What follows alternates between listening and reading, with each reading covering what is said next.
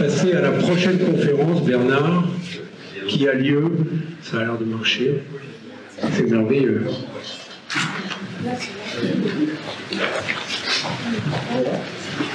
C'est Apple, c'est ça Ça a failli marcher. Je dis d'acheter un HP. Voilà. La prochaine conférence de Vega, oui, aura lieu le euh, 10 16 février, oui. Jean E. Darlot, astronome à l'Institut de mécanique céleste et des calculs des éphémérides, nous présentera les satellites du système solaire. Sera en, en plein hiver. La deuxième date à retenir, ce n'est pas plus tard que demain après-midi, un concert qui associe l'orgue et Cosmos, avec présentation d'images sur un très grand écran, en même temps que l'orgue à Saint-Pierre, l'église Saint-Pierre de Plaisir, à 18h. Euh, pardon. 16h, autant pour moi. Autant pour moi. Euh, le astronomique. Il y a en particulier, je crois, une œuvre à l'orgue composée par le père de Galilée, je crois, lui-même. C'est bien ça. Et avant de. Voilà, ça c'était les deux dates importantes. Avant d'attaquer la conférence, euh, je pense que tout le monde connaît notre conférencier, Bernard Lelard, président de l'association Vega. Je vous rappelle quand même, comme on le fait à chaque fois, le, parcours de Bernard, qui est maintenant en retraite, mais qui est un ingénieur diplômé de, de l'ENSEC de Toulouse, qui est titulaire d'un DEA de mathématiques et qui euh, est particulièrement érudit dans les domaines de l'astronomie, de la physique et de l'astrophysique. Un domaine que beaucoup ne connaissent pas de Bernard et euh, son côté tout à fait... C'est un peintre en fait et un aquarelliste euh, tout à fait remarquable et qui a exposé à plusieurs reprises. C'est bien ça, Bernard. Voilà, et je crois que la conférence de ce soir, vous allez être content parce que ça s'inscrit vraiment dans le contexte de préservation de notre planète. La transition énergétique est parfaitement euh, à l'ordre du jour, si je puis dire, avec la manifestation d'aujourd'hui. Et donc, je crois que notre planète, son environnement, ses ressources, ce sont vraiment des, des dossiers et des questions qui sont particulièrement à, l'ordre du jour. Je vous rappelle d'ailleurs à ce propos l'appel la, qu'a fait l'un des plus l'un des plus éminents astrophysiciens français, Aurélien Barraud, qui a fait un appel pour la préservation de la planète signé par un très grand nombre de personnalités de toutes tendances. Voilà. Tu es prêt, Bernard? Non, pas encore. Aide-moi. Ça marche? Là Ça marche Voilà, la parole est à toi, Bernard. Non, La régie, c'est bon Le son coco, comme on dit. non, ça marche. Ça marche là Bonne soirée à tous et bonne conférence. Bien, merci. Euh, vous savez que depuis, nous organisons des conférences depuis plus de 12 ans, à raison de 4 par an.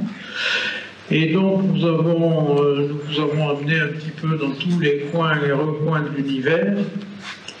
Mais nous avons, non pas oublié, mais négligé, comme tout le monde, un coin particulier qui pourtant est assez important puisque c'est le nôtre, c'est la Terre. Donc nous allons parler de la Terre. Alors ça va être assez difficile parce que euh, nous sommes dans un contexte où la Terre, non pas la Terre elle-même, mais nous-mêmes sur la Terre, vont commencer à avoir des problèmes. On ne s'en rend pas compte, on le lit dans les journaux, mais dès qu'on a plié le journal, ça n'intéresse plus personne.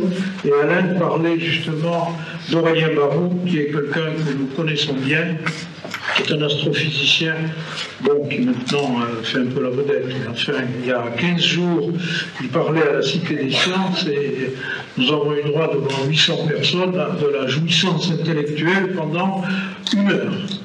C'est un gars qui est professeur d'université, il a un Santiago, un blouson de motard, etc. Mais c'est quelqu'un d'exceptionnel.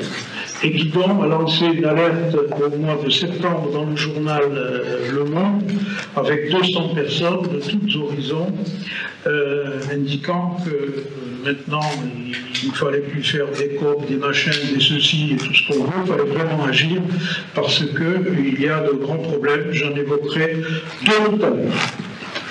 Alors, nous allons voir donc la, Terre en tant que planète, euh, ensuite, nous verrons son histoire, parce que la Terre a une histoire qui est très intéressante et très compliquée, euh, qui est. Euh, et ensuite, si nous en avons le temps, nous parlerons de l'émergence de la vie, puisque une des caractéristiques essentielles de la, de la Terre est qu'il y a de la vie sur elle. Alors, les sujets en astronomie, actuellement, il y a évidemment beaucoup de sujets qui sont étudiés, mais il y en a deux principaux qui sont d'une part les exoplanètes alors, vous voyez un petit peu, on en a déjà parlé ici plusieurs fois, Jean-Pierre qui aime beaucoup les, exoplanètes, moi aussi d'ailleurs, euh, mais lui plus que moi. Et puis ensuite, il y a des gens comme Aurélien Barrault, justement, qui essaient de voir ce qui s'est passé dans ce qu'on croit être un début de l'univers, même si cela n'existe quasiment pas. Alors nous, nous occuperons du premier sujet. Alors, l'exoplanète, euh, nous sommes en 1995 et euh, vous voyez ici euh, notre, notre, association. Il y a des gens qui sont dans la salle d'ailleurs, qui sont représentés ici. Et un, un ami de notre association, Michel Maillard, Mayor, avec son élève, Michel Maillard était professeur, avec son élève Didier Queloz, qui passait une thèse sur les objets qui tournent autour des étoiles, a trouvé, a prouvé l'existence d'une exoplanète, c'est-à-dire une planète qui tournait autour d'une étoile, qui s'appelle 51 PXB, peu importe. Et cette, découverte est très importante, qui n'a pas eu le prix Nobel, on ne sait pas trop pourquoi, ça se résumait presque à cette sinusoïde en haut, où l'on voit une courbe de, euh, de la brillance de cette étoile qui est légèrement masquée à chaque passage de quelque chose qu'on a identifié comme étant une planète. Alors, depuis, des planètes, on en trouve partout. Et alors, nous avons euh, invité, il y a quelques années, Alfred Vidal-Majar, que vous voyez ici, qui était un spécialiste des planètes, et on en trouve assez facilement. Voici, par exemple, autour de notre Soleil, euh, symbolisé par l'X en rouge, où vous avez toutes nos voisines qui ont toutes des planètes qui tournent autour d'elles. Nous avons trouvé euh, sur 500 000 étoiles qui ont été étudiées en 9 ans par un télescope satellite Kepler qui vient de s'arrêter cette semaine. C'est ça? Oui, oui. Et euh, euh, qui a utilisé qui, a stocké un certain nombre de paramètres et la compilation de ces paramètres a donné 2662 exoplanètes. C'est à la fois beaucoup et pas beaucoup. Euh, en particulier, on ne sait pas très bien combien il y a d'étoiles dans la Voie lactée. On a appris la semaine dernière qu'il n'y en avait peut-être que 40, 40 milliards. Nous, on pensait entre 100 et 200 milliards, donc on n'en sait rien. Alors, ce qu'on a trouvé, c'est très bizarre, c'est pas du tout des choses qui ressemblent à notre Terre. On a trouvé ce qu'on appelle des Jupiter chauds, c'est-à-dire des planètes gazeuses, qui tournent très vite généralement en étant très proches de leur étoile. Et ces étoiles, sauf certaines bien sûr, sont ce qu'on appelle des étoiles naines, c'est-à-dire des étoiles un peu euh, qui n'ont pas eu un développement suffisant, mais qui ont la caractéristique de durer beaucoup plus longtemps que les autres étoiles. Elles sont peu lumineuses, hein, elles ont une luminosité de l'ordre de 10% de notre Soleil. Alors voici ces, naines, on appelle ça des naines rouges. Vous voyez notre Soleil là-haut, euh, qui est très gros par rapport à ces autres étoiles. Autrement dit, imaginons qu'il y ait des planètes qui tournent autour de ces petites étoiles on comprend bien qu'on ne réunit pas les mêmes conditions de vie que sur Terre. D'autant que notre Soleil, seul là-bas, est une étoile minuscule par rapport autres, par rapport à celle-là qui paraît grosse, c'est pour vous donner un peu une idée de dimension. Voilà notre Soleil qui ne peut même pas être visible par rapport à d'autres étoiles gigantesques. Alors ce que l'on voit dans une exoplanète, c'est un ensemble de mesures. Bon, c'est déjà des exploits techniques considérables pour trouver ça à cette grande distance, mais enfin c'est quand même très, très faible pour se donner une idée de ce que ça peut être. En particulier pour notre exoplanète la plus proche, près de l'étoile Proxima du Centaure dans l'hémisphère sud. Essayez de la voir, mais c'est impossible à l'œil nu. Euh, bon, euh, elle se trouve très près de l'étoile. Elle a une distance, elle a une température qui est de l'ordre de, euh, moins moins 40 degrés ou un peu plus Celsius. Son orbite est très rapide, 11 jours, euh, alors que la Terre a les 367 jours, comme vous le savez, et la luminosité n'est pas très importante. Par contre, elle reçoit 400 fois plus de, rayons X que sur la Terre, donc les gars qui habitent là-bas doivent quand même bronzer beaucoup. Si on veut faire un voyage, en faisant des calculs par rapport à notre sonde la plus rapide, celle qui vers Pluton, le voyage durerait 70 000 ans, le voyage aller. Et euh, la distance, c'est 40 000 milliards de kilomètres. Évidemment, le kilomètre, ça ne veut absolument rien dire en astronomie. On utilise pour le système solaire l'UA, c'est-à-dire euh, un mètre étalon de 150 millions de kilomètres, la distance de la Terre au Soleil, ou sinon la, la, la vitesse de la lumière. Autrement dit, un jour quand même, nous verrons, alors nous, nos enfants, nos petits-enfants, enfin nous, ça dépend, ça dépend de nos âges, euh, nous verrons quelque chose comme ça, avec des continents, des océans, des bestioles, comme disait notre ami euh, André Braille, peut-être des girafes et des, et hippopotames. On le verra avec ça, en haut à gauche, le le nouveau télescope qui va remplacer le bol. Alors on recule sa date euh, de lancement d'année en année, mais on espère qu'il euh, sera sur orbite en 2021 maintenant. Ça paraît bizarre comme ça, mais la partie rose que vous voyez euh, a la dimension d'un cours de tennis. Et puis ce télescope euh, européen, un grand télescope européen dont le diamètre, de 30, dont le, diamètre du miroir est de 39 mètres, qui est considérable, et qui est déjà en construction. Souvent on se dit, bon, c'est un projet, on ne sait pas ce qui va se passer, là ça marche. Mais on oublie souvent que nous-mêmes, nous sommes sur une planète, et il s'agit d'une super planète. D'abord, il y a la vie. Oui, il est joli, merci. Ensuite, il y a eu une biodiversité considérable, 6 millions euh, d'espèces vivantes sur Terre, 300 000, 300 000 oui, sur euh, espèces végétales, 6 millions sous la mer, je ne sais pas trop comment ils ont compté ça, avec une biodiversité incroyable. Je n'ai sélectionné quelques-uns de bizarres. J'aime beaucoup toujours celui-là, l'ornithorynque, qui est un mammifère qui pond des œufs, qui a un bec de canard, une queue de castor et des pattes de loutre. Et donc, il pond des œufs et ses petites têtes. Ça se passe en Australie. Il y a également des paysages fantastiques. Il y a des montagnes exceptionnel. Il y a des vallées, c'est très important les vallées parce que c'est généralement là qu'il y a la biodiversité.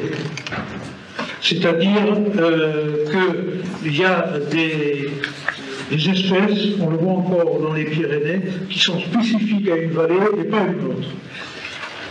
Il y a la, surface est recouverte à plus de 70% par des océans. Il y a des nuages de vapeur d'eau, c'est très important, une atmosphère très mince, une atmosphère respirable très mince, des forêts primitives exceptionnelles. Alors j'ai eu la chance, de prendre euh, moi-même cette photo au nord-est de l'Australie, où là, c'est, on peut voir des conservatoires de la nature originelle. Voilà ce que l'on en fait. Je ne voulais pas vous montrer ça, mais je crois qu'avant de bien comprendre ce qu'est la Terre, il faut savoir que maintenant, il y a des États qui bousillent ce genre de choses. Ça, c'est grâce à l'huile de palme. Ça sert, ça sert notamment pour des pâtes à tartiner, pour etc. On ne va pas faire de polémique, mais c'est devenu un grand, un grave problème qui était dénoncé par Aurélien Barrault. Il y a la même chose en Amazonie, mais là, c'est pour le soja.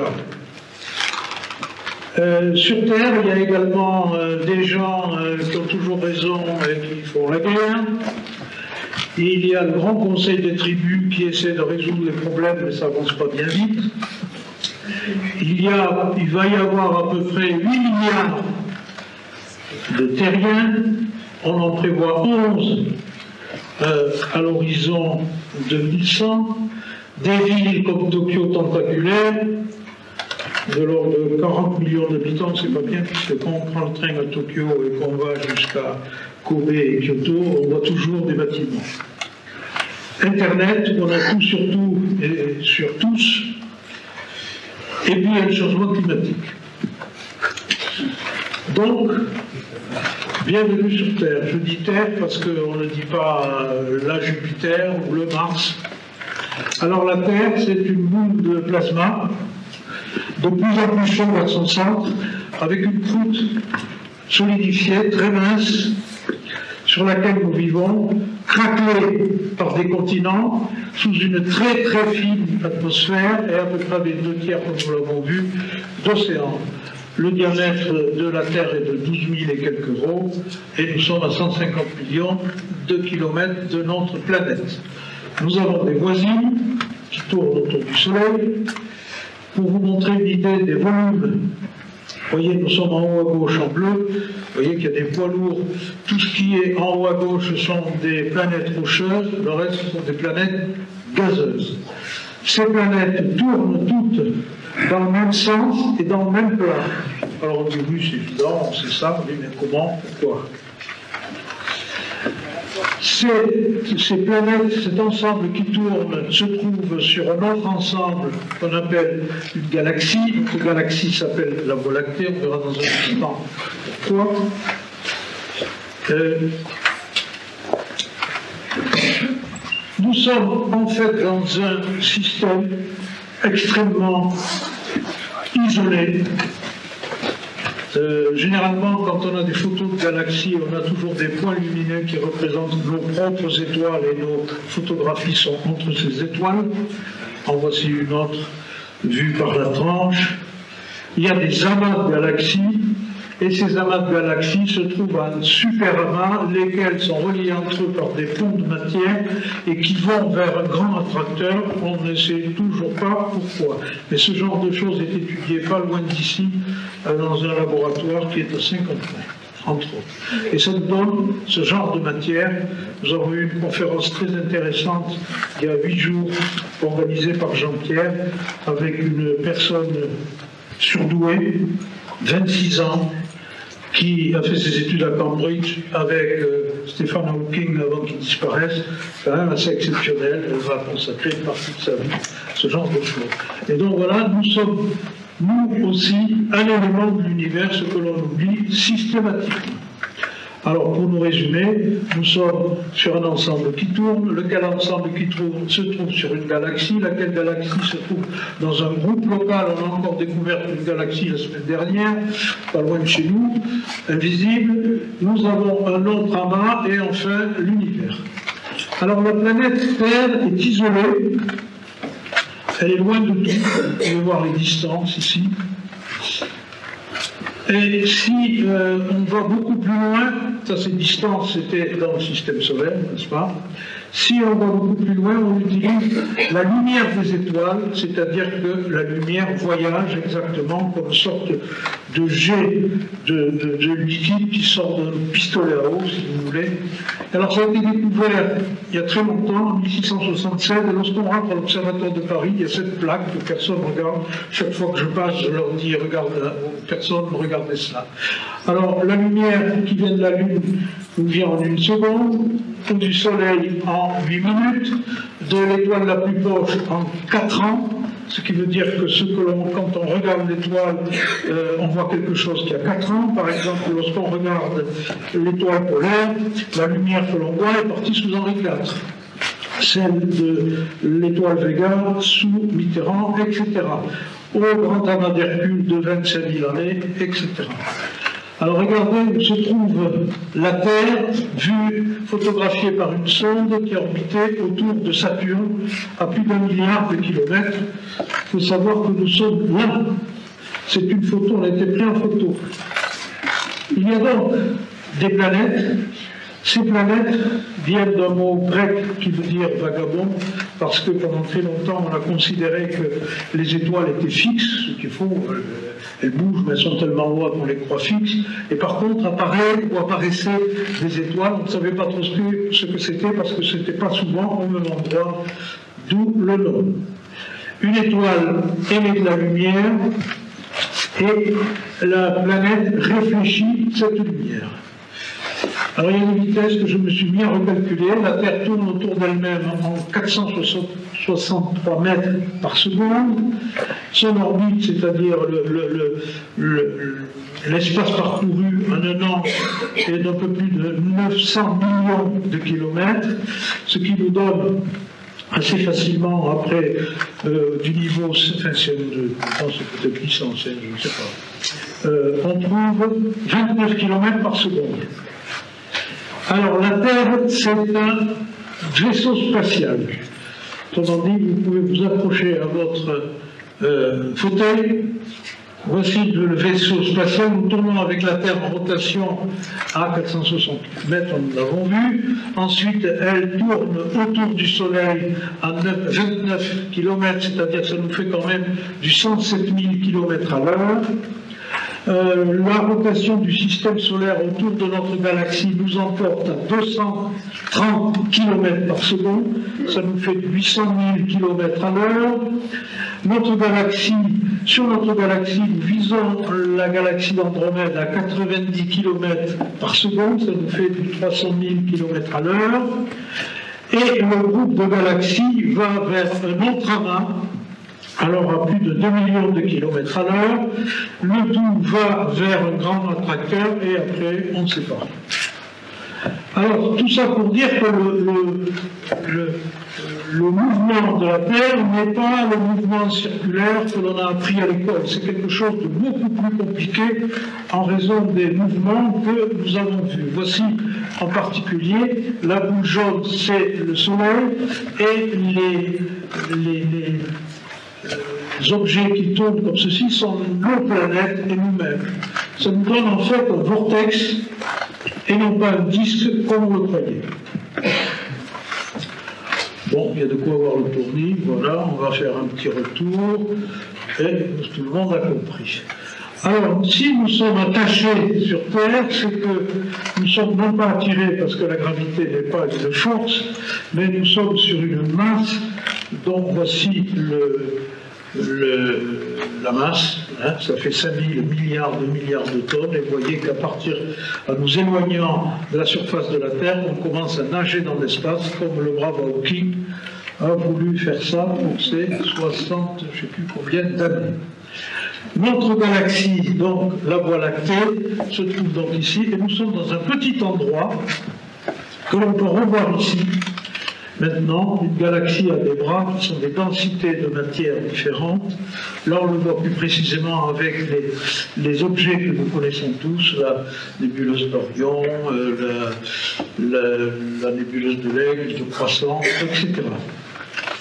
Et si on regarde de plus près, on trouve un problème. En effet, ici, vous voyez que vous avez plutôt ici, vous voyez des bras, Et nous, quand on zoome, on s'aperçoit qu'on n'est pas sur un bras.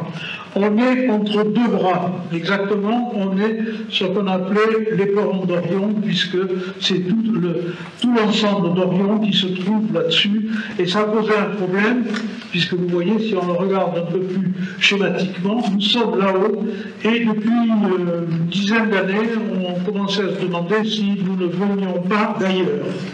Et justement, la semaine dernière, on s'est aperçu que alors l'idée était que peut-être euh, notre galaxie euh, était le résultat d'une collision d'autres galaxies. Eh bien, nous avons trouvé, par exemple, si on regarde une superbe photo prise par Pascal qui est dans la salle, vous voyez qu'ici, la, galaxie d'Andromède hein, est, est sur un bord preuve qu'il y a certainement eu un accident. Ça ne veut pas dire que nous avons cogné là-dessus, mais ça veut dire que la plupart des galaxies ont cogné. Et il y a juste une dizaine de jours, on a confirmé, vous voyez, c'est un, message du CNRS, que notre galaxie a fusionné avec une autre galaxie. Alors, il y a, c'est environ il y a 10 milliards d'années. Et ça a donné ceci. On a fait ça avec le euh, le, télescope, le télescope Gaïa, et on a toute une population d'étoiles qui a traversé notre, notre bras d'ailleurs en allant dans la même direction. Alors voici une photo de Voie lactée. Alors on parle toujours de Voie lactée, pour savoir ce que ça veut dire, puisqu'on est là quand même pour apprendre un peu de choses. Vous avez ici Zeus, le, dieu des dieux, qui était euh, quelqu'un qui avait énormément de maîtresses. D'ailleurs, chaque fois qu'il y avait des dames qui attendaient des bébés, et lorsque les, maris revenaient de, guerre, elles disaient toujours qu'elles avaient rencontré, qu'ils avaient, avaient rencontré Zeus. Alors donc, Zeus avait une, une maîtresse qui s'appelait Alcmène, elles avaient eu un bébé qui s'appelait Héraclès en grec et Hercule en latin. Et alors, euh, le Zeus voulait à tout prix que, ce bébé, Héraclès, soit éternel, mais pour être éternel, euh, sa mère aurait dû être une déesse, ce qui n'était pas le cas. Alors, il a eu une idée géniale, c'est de poser le bébé sur son épouse qui faisait la sieste dans le plus simple appareil. Et le problème, c'est que le bébé, qui était très costaud, puisqu'on l'appelait Héraclès, Hercule, il s'est mis à tripoter la dame qui a eu une giclée de lait et euh, Zeus, chaque fois qu'il avait un problème, il envoyait tout le monde euh, dans le ciel. Et donc euh, cet épisode se retrouve ici, c'est pour ça qu'on l'appelle Voie lactée. Et plus tard, lorsque Hubble a démontré qu'il y avait d'autres éléments, il a repris le terme. Euh, lacté, en grec, se disait galax, de là que vient le mot galaxie. Alors quand on est dans une galaxie et qu'on regarde la Voie lactée comme ceci, ce que l'on voit, ce sont les astrologues euh, mésopotamiens qui ont euh, trouvé que euh, nous, pendant l'orbite de la Terre, ils ne savaient pas que la Terre tournait, mais ils, constataient que dans des périodes régulières, on voyait un fond qui bougeait de constellations. Généralement, les astrologues, qui étaient des prêtres et qui avaient des temples avec des escaliers qu'ils appelaient des degrés. Et comme ils mesuraient la hauteur des étoiles euh, par rapport au sol, le terme degré est resté et nous a été transmis. Et ils travaillaient surtout en base 60, euh, simplement parce que des tablettes, ils prenaient des morceaux d'argile et puis ils les tapaient sur leur paume, donc une tablette à la dimension d'une paume de main, et ils choisissaient des, des quantités qui étaient des multiples. Donc c'est de là que vient, vient le fameux 360, 360 degrés. Tout ça pour dire que pendant des siècles, l'homme était considéré comme le centre de l'univers. Alors revenons à la Voie lactée, on s'est aperçu il n'y a pas très longtemps que euh, notre, euh, euh, notre système solaire, le Soleil en particulier, avait un mouvement très particulier d'ondulation autour des bras et que l'on peut voir, non pas ici, là c'est nous qui tournons, Mais ici, vous voyez, en fait, on a un mouvement supplémentaire parmi tous les mouvements dont je vous ai parlé, qui est une période, tous les 64 millions d'années, on monte et on redescend, en plus de tourner autour de la galaxie. Et chaque fois qu'on traversait un bras, il y avait, cela faisait des étincelles, si je puis dire, c'est-à-dire des étoiles qui explosaient, c'est ce qu'on appelle des supernovas. Euh, en voici une qui est généralement un, un œil humain, on voit une tous les 500 années. Et le monsieur était sorti, il s'appelait Yann, je ne sais plus comment, Yann Selton. Il prenait des photos, voici une photo qu'il prenait. Il a été, euh, il est rentré dans l'observatoire. Quand il est revenu, il a pris une autre photo, il a vu ça, c'est-à-dire une explosion d'étoiles. Alors j'ai reconstitué, parce que c'est très important, euh, chaque fois que euh, le, Soleil, c'est-à-dire nous-mêmes, tournons autour de la galaxie, j'ouvre un petit détail, vous voyez ici que euh, cette galaxie a une barre, et cette barre elle est découverte par une de nos amies, qui est Françoise Comte, qui est venue ici et qui est académicienne. Et chaque fois que l'on traverse que, le Soleil, avec son cortège de, planètes, traversait un bras, on a constaté qu'il y avait des extinctions d'espèces. Hein, euh, par exemple, ici, euh, il y a toutes sortes d'animaux qui, ont disparu, et ceci euh, régulièrement. Et on pense que la prochaine extinction euh, d'espèces, ça sera tout simplement notre propre extinction si on continue à faire l'indécible comme on le fait joyeusement actuellement. Voici un exemple de bestiole qui a disparu, je vous en ai amené d'ailleurs. Voici comment ça se présentait. Vous voyez la maison ne recule devant aucun sacrifice. Alors, dans le cadre de nos activités, nous allons souvent, dans, enfin souvent, maintenant beaucoup moins, dans des classes, au lycée, au collège. Et autrefois, maintenant encore, on voit une espèce de, euh, de terrestre. C'est comme ça que vous et moi, nous avons appris que la Terre est une boule. Et alors, vous êtes peut-être comme moi aussi, euh, se pose la question boule, ah bon, qui c'est qui a dit ça, qui c'est qui l'a vu, comment, etc. Et nous avons été la première génération à voir qu'effectivement, la Terre était une boule avec des valeureux cosmonautes il y a 50 ans. Voici ici un coucher de terre pris sur la Lune par la sonde japonaise, je ne sais plus comment. Alors, Voici une photo très intéressante. Elle représente l'absentéisme de nos députés.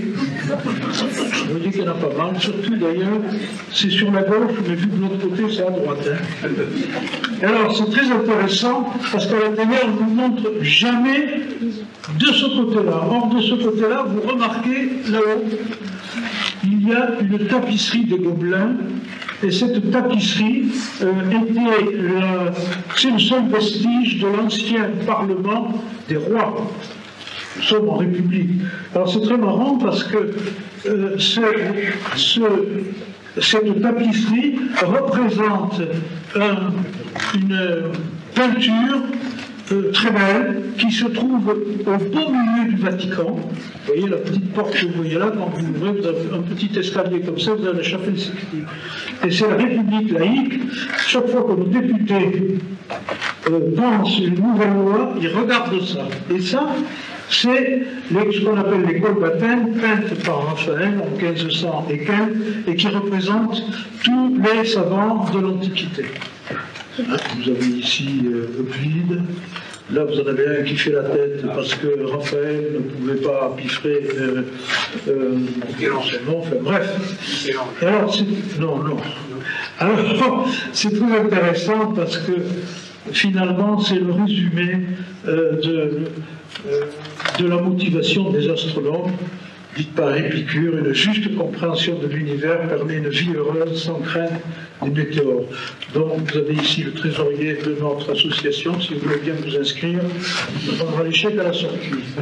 Alors voilà les, les philosophes grecs. Vous avez Socrate au début, Alors c'est très facile, généralement, quand on bûche la philo pour le bac, on ne comprend rien, il faut l'apprendre par cœur pour avoir une bonne note.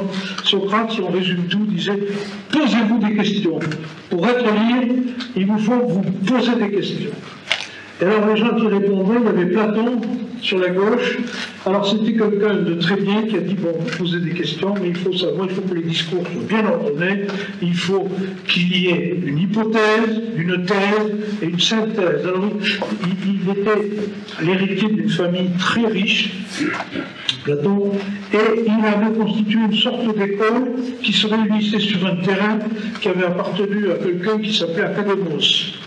Alors on ne savait pas très bien si c'était quelqu'un ou si c'était un dieu, et c'est de que vient le mot académie. Et il y avait son élève, dont, retenez bien, Platon a été l'élève de Socrate, et Aristote ici a été l'élève de Platon. Votre souvenir, c'est SPA. Socrate, Platon, Aristote. Vous pouvez passer le bac maintenant. Alors lui, lui, nous a fait faire beaucoup de bêtises. C'est un grand philosophe, mais il avait des idées très arrêtées, en particulier en astronomie qui, hélas, hélas pour l'Église, a repris ces idées, ce qui les a conduits à dire eux-mêmes beaucoup de bêtises. Alors, se poser des questions, pourquoi la Terre est ronde? Pourquoi elle tourne sur elle-même? Pourquoi qu'elle tourne autour de l'étoile Soleil? Pourquoi les planètes voisines tournent aussi autour d'un plan? Qu'il y a des volcans, des tsunamis, des continents, des montagnes, des failles, des océans, des girafes, des... Et puis le mot terre, d'où vient le mot terre? C'est un mot du sanskrit qui voulait dire des articles. Les soldats d'Alexandre le Grand qui sont allés jusqu'à l'Indus, là où on parlait le, sanskrit, ont transformé un petit peu cette racine en terre somale, qui voulait dire avoir soif dans le désert. Et puis ensuite, il y a eu les, Romains qui eux ont dit terra, et nous disons terre. Alors, Tamponier, pourquoi la terre est marron Pas évident, mais bon. Elle est marron parce que c'est en fait tout l'humus de toutes les feuilles qui tombent, il y en a beaucoup en ce moment, notamment dans mon jardin. Et tout ceci nous donne euh, cette couleur marron qui finalement est un compost générateur. Et Tamponier, le mot soleil, d'où vient le mot soleil? Il vient, j'ai repris des monnaies de ma collection, vient de Lyoni. Lyoni, c'est la côte turque, enfin à l'époque c'était pas la Turquie, en Asie mineure, et tous les gens avaient pour Dieu un soleil, que vous voyez ici sur cette pièce de monnaie avec un, avec un lion. Et les soldats de Constantin le Grand, nous sommes autour de 350, euh, croyaient à, cette, à, cette, mythologie et avaient un soleil sur toutes les pièces de monnaie. Et cette pièce de monnaie servait de paiement, de solde. Donc on appelait ça un solde, solde. Sol, donc, avec le soleil, ça nous a donné alors Sol, c'était dans cette mythologie-là le frère d'une déesse qui s'appelait Luna. Ils avaient un fils, une fille qui s'appelait Aurora, et tout ça vous a donné Solidus, c'est-à-dire solde, la solde, c'est-à-dire des soldats. Alors, vous appris quelque chose, on continue. Donc, il y avait un poète qui s'appelait Parmenide et qui disait dans un poète, le poème de l'aîné, il ressemble, c'était la Terre, à la masse d'une sphère arrondie de tous côtés, également distante dans son sein, en tout point. Le premier à affirmer que la Terre était une sphère, c'était euh, le Parménide, et il continuait en disant qu'on était au centre de l'univers. Et il donnait tout ça de ce que tout le monde a connu à un moment donné, Thalès, qui était un type richissime. C'était le conseiller financier de Crésus, et ils habitaient au bord d'un fleuve qui s'appelait le Pactole. Et donc, ne vous posez pas des questions de savoir chaque fois qu'il y a un mot d'où ça vient. Moi, je passe ma vie, moi, ça, donc vous le dire, en fait. Et donc, il était très malin, Thalès, parce qu'il avait le monopole. Il vivait en Ionie, là, où les gars croyaient, vous savez, au soleil et, au lion et à la lune. Et il avait remarqué que pendant les éclipses de lune, euh, il voyait ces ombres, et alors le ciel était beaucoup plus clair que maintenant, et il en avait déduit que la Terre, c'était au moins un seul et probablement une bulle. Alors voilà un peu tout ce qu'il a trouvé. Hein. Tout le monde a fait ça aussi. Une boule, maintenant, on sait qu'elle est bleue, on a la boule les sciences. Alors, les planètes, c'est des boules aussi. Donc, pourquoi c'est des boules?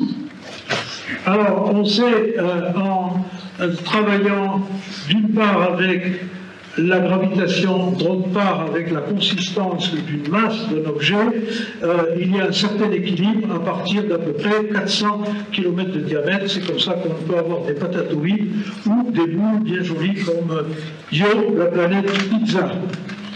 C'est pareil pour les étoiles, c'est le même principe. Hein, et d'un côté, vous avez une pression qui est due à la gravité, et puis une réaction dans l'autre sens qui euh, déclenche des réactions nucléaires, et ça vous donne également des bulles. Et puis vous avez même, on l'a appris euh, il y a 15 jours, par Aurélien Barraud, Aurélien Barraud, c'est un de nos chercheurs, vous voyez, il a des Santiago Vega, c'est pas facile à trouver parce qu'il ne faut pas que ce soit du cuir de vache, de mouton. C'est, je ne sais pas ce que c'est, mais c'est pas ça. Vous voyez, son, euh, sa collection de, bracelets, son, euh, son, blouson de motard, c'est un type exceptionnel, au moins vous l'avez vu une fois. Et alors le trou noir, ben, ce n'est pas des trous, c'est des boules. Hein, l'horizon des événements, comme dirait notre ami Olivier, c'est une sphère c'est une sphère. Bon, voilà la plus belle boule du XXe siècle, selon le magazine Times aux États-Unis, qui est le, satellite Réa de Saturne. Alors, si on revient maintenant un peu euh, au Soleil, voici un cadran solaire. Alors là, voici, je vous présente une autre personnalité de l'Antiquité, Eratosthène. C'est un type exceptionnel, il s'est dit, bon, est-ce que la Terre est plate, bien que c'est une boule. Si c'est plate, chaque fois que je pose un objet, par exemple l'obélisque, par un poteau d'électricité et quelque chose de planté, là, à des endroits différents, la, longueur de l'ombre doit être identique. À ce moment-là, la Terre est plate. Si elle n'est pas identique, ça veut dire qu'elle est, euh, ou ronde ou à ovale, etc. Alors on s'est aperçu, alors pour moi c'est une des plus belles expériences que l'on fait régulièrement avec euh, des lycéens. On a essayé de le faire avec le lycée de plaisir, et alors il faut que notre lycée soit loin, mais ça n'a pas été concluant. Alors c'était le directeur de la bibliothèque d'Alexandrie, c'est-à-dire une sorte de dépôt légal, et, on a remarqué qu'au solstice d'été, c'est-à-dire le 21 juin, solstice, ça veut dire que le soleil s'arrête, c'est la journée où les ombres sont les plus courtes et où le soleil est le plus haut. Il a remarqué qu'à Alexandrie, les ombres faisaient un, angle de 7 2 degrés, alors que dans d'autres endroits, notamment l'autre bout du Nil, à Assouan, qui s'appelait Silène, euh, il y avait des puits qu'on appelait des nilomètres qui commençaient à se remplir d'eau. Nous en avons vu un lors d'un voyage. Et le jour du solstice d'été, le soleil se reflète. Alors il en a déduit que s'il mesurait ici l'ombre était pile poil euh, en forme de point. À Alexandrie, il y avait un écart de 7 degrés. Il pouvait donc utiliser des triangles semblables pour savoir que euh, en calculant la distance, on a calculé la distance avec un chameau, parce que c'est un chameau qui appartenait à l'administration fiscale. Il était déjà chameau. Et alors, le, pas du chameau est très régulier, on compte les pas, on mesure, il n'y avait pas autre chose. Il s'aperçoit que euh, le 7,2, c'est le cinquantième de 360 degrés, donc on fait une règle de 3 très simple, et on trouve 39 000 et quelques kilomètres, ce qui est remarquable, puisque la véritable le, véritable calcul, c'est 40 000 km. C'est même la définition, c'était la définition du mètre, puisque maintenant, c'est autre chose. Donc voici d'autres étoiles en forme de boule, voyez qu'il y a plein de boules partout.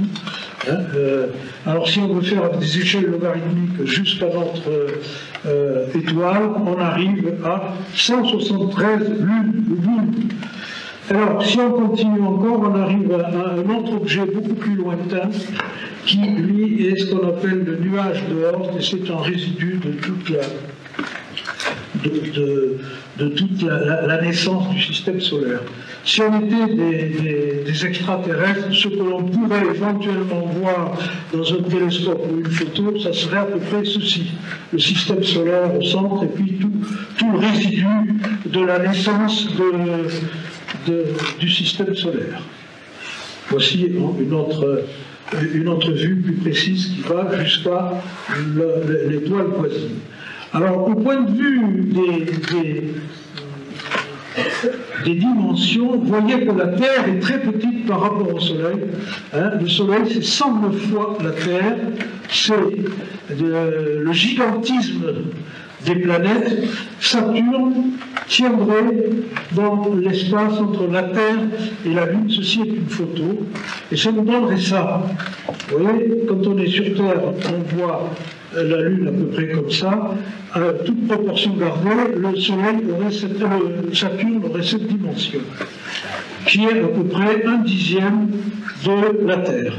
Et par rapport à Jupiter, c'est encore à peu près un dixième. Alors on a vu ici euh, Sonia Fornacier qui nous a expliqué, qui était une chercheuse italienne de l'université de Padoue, qui avait mis au point une caméra qui se trouve par là, au sujet de la planète de, la, du noyau de comète Rosetta, dont on parlait beaucoup en 2015. Regardez, mis sur Paris, c'est un caillou qui n'est pas si petit que ça.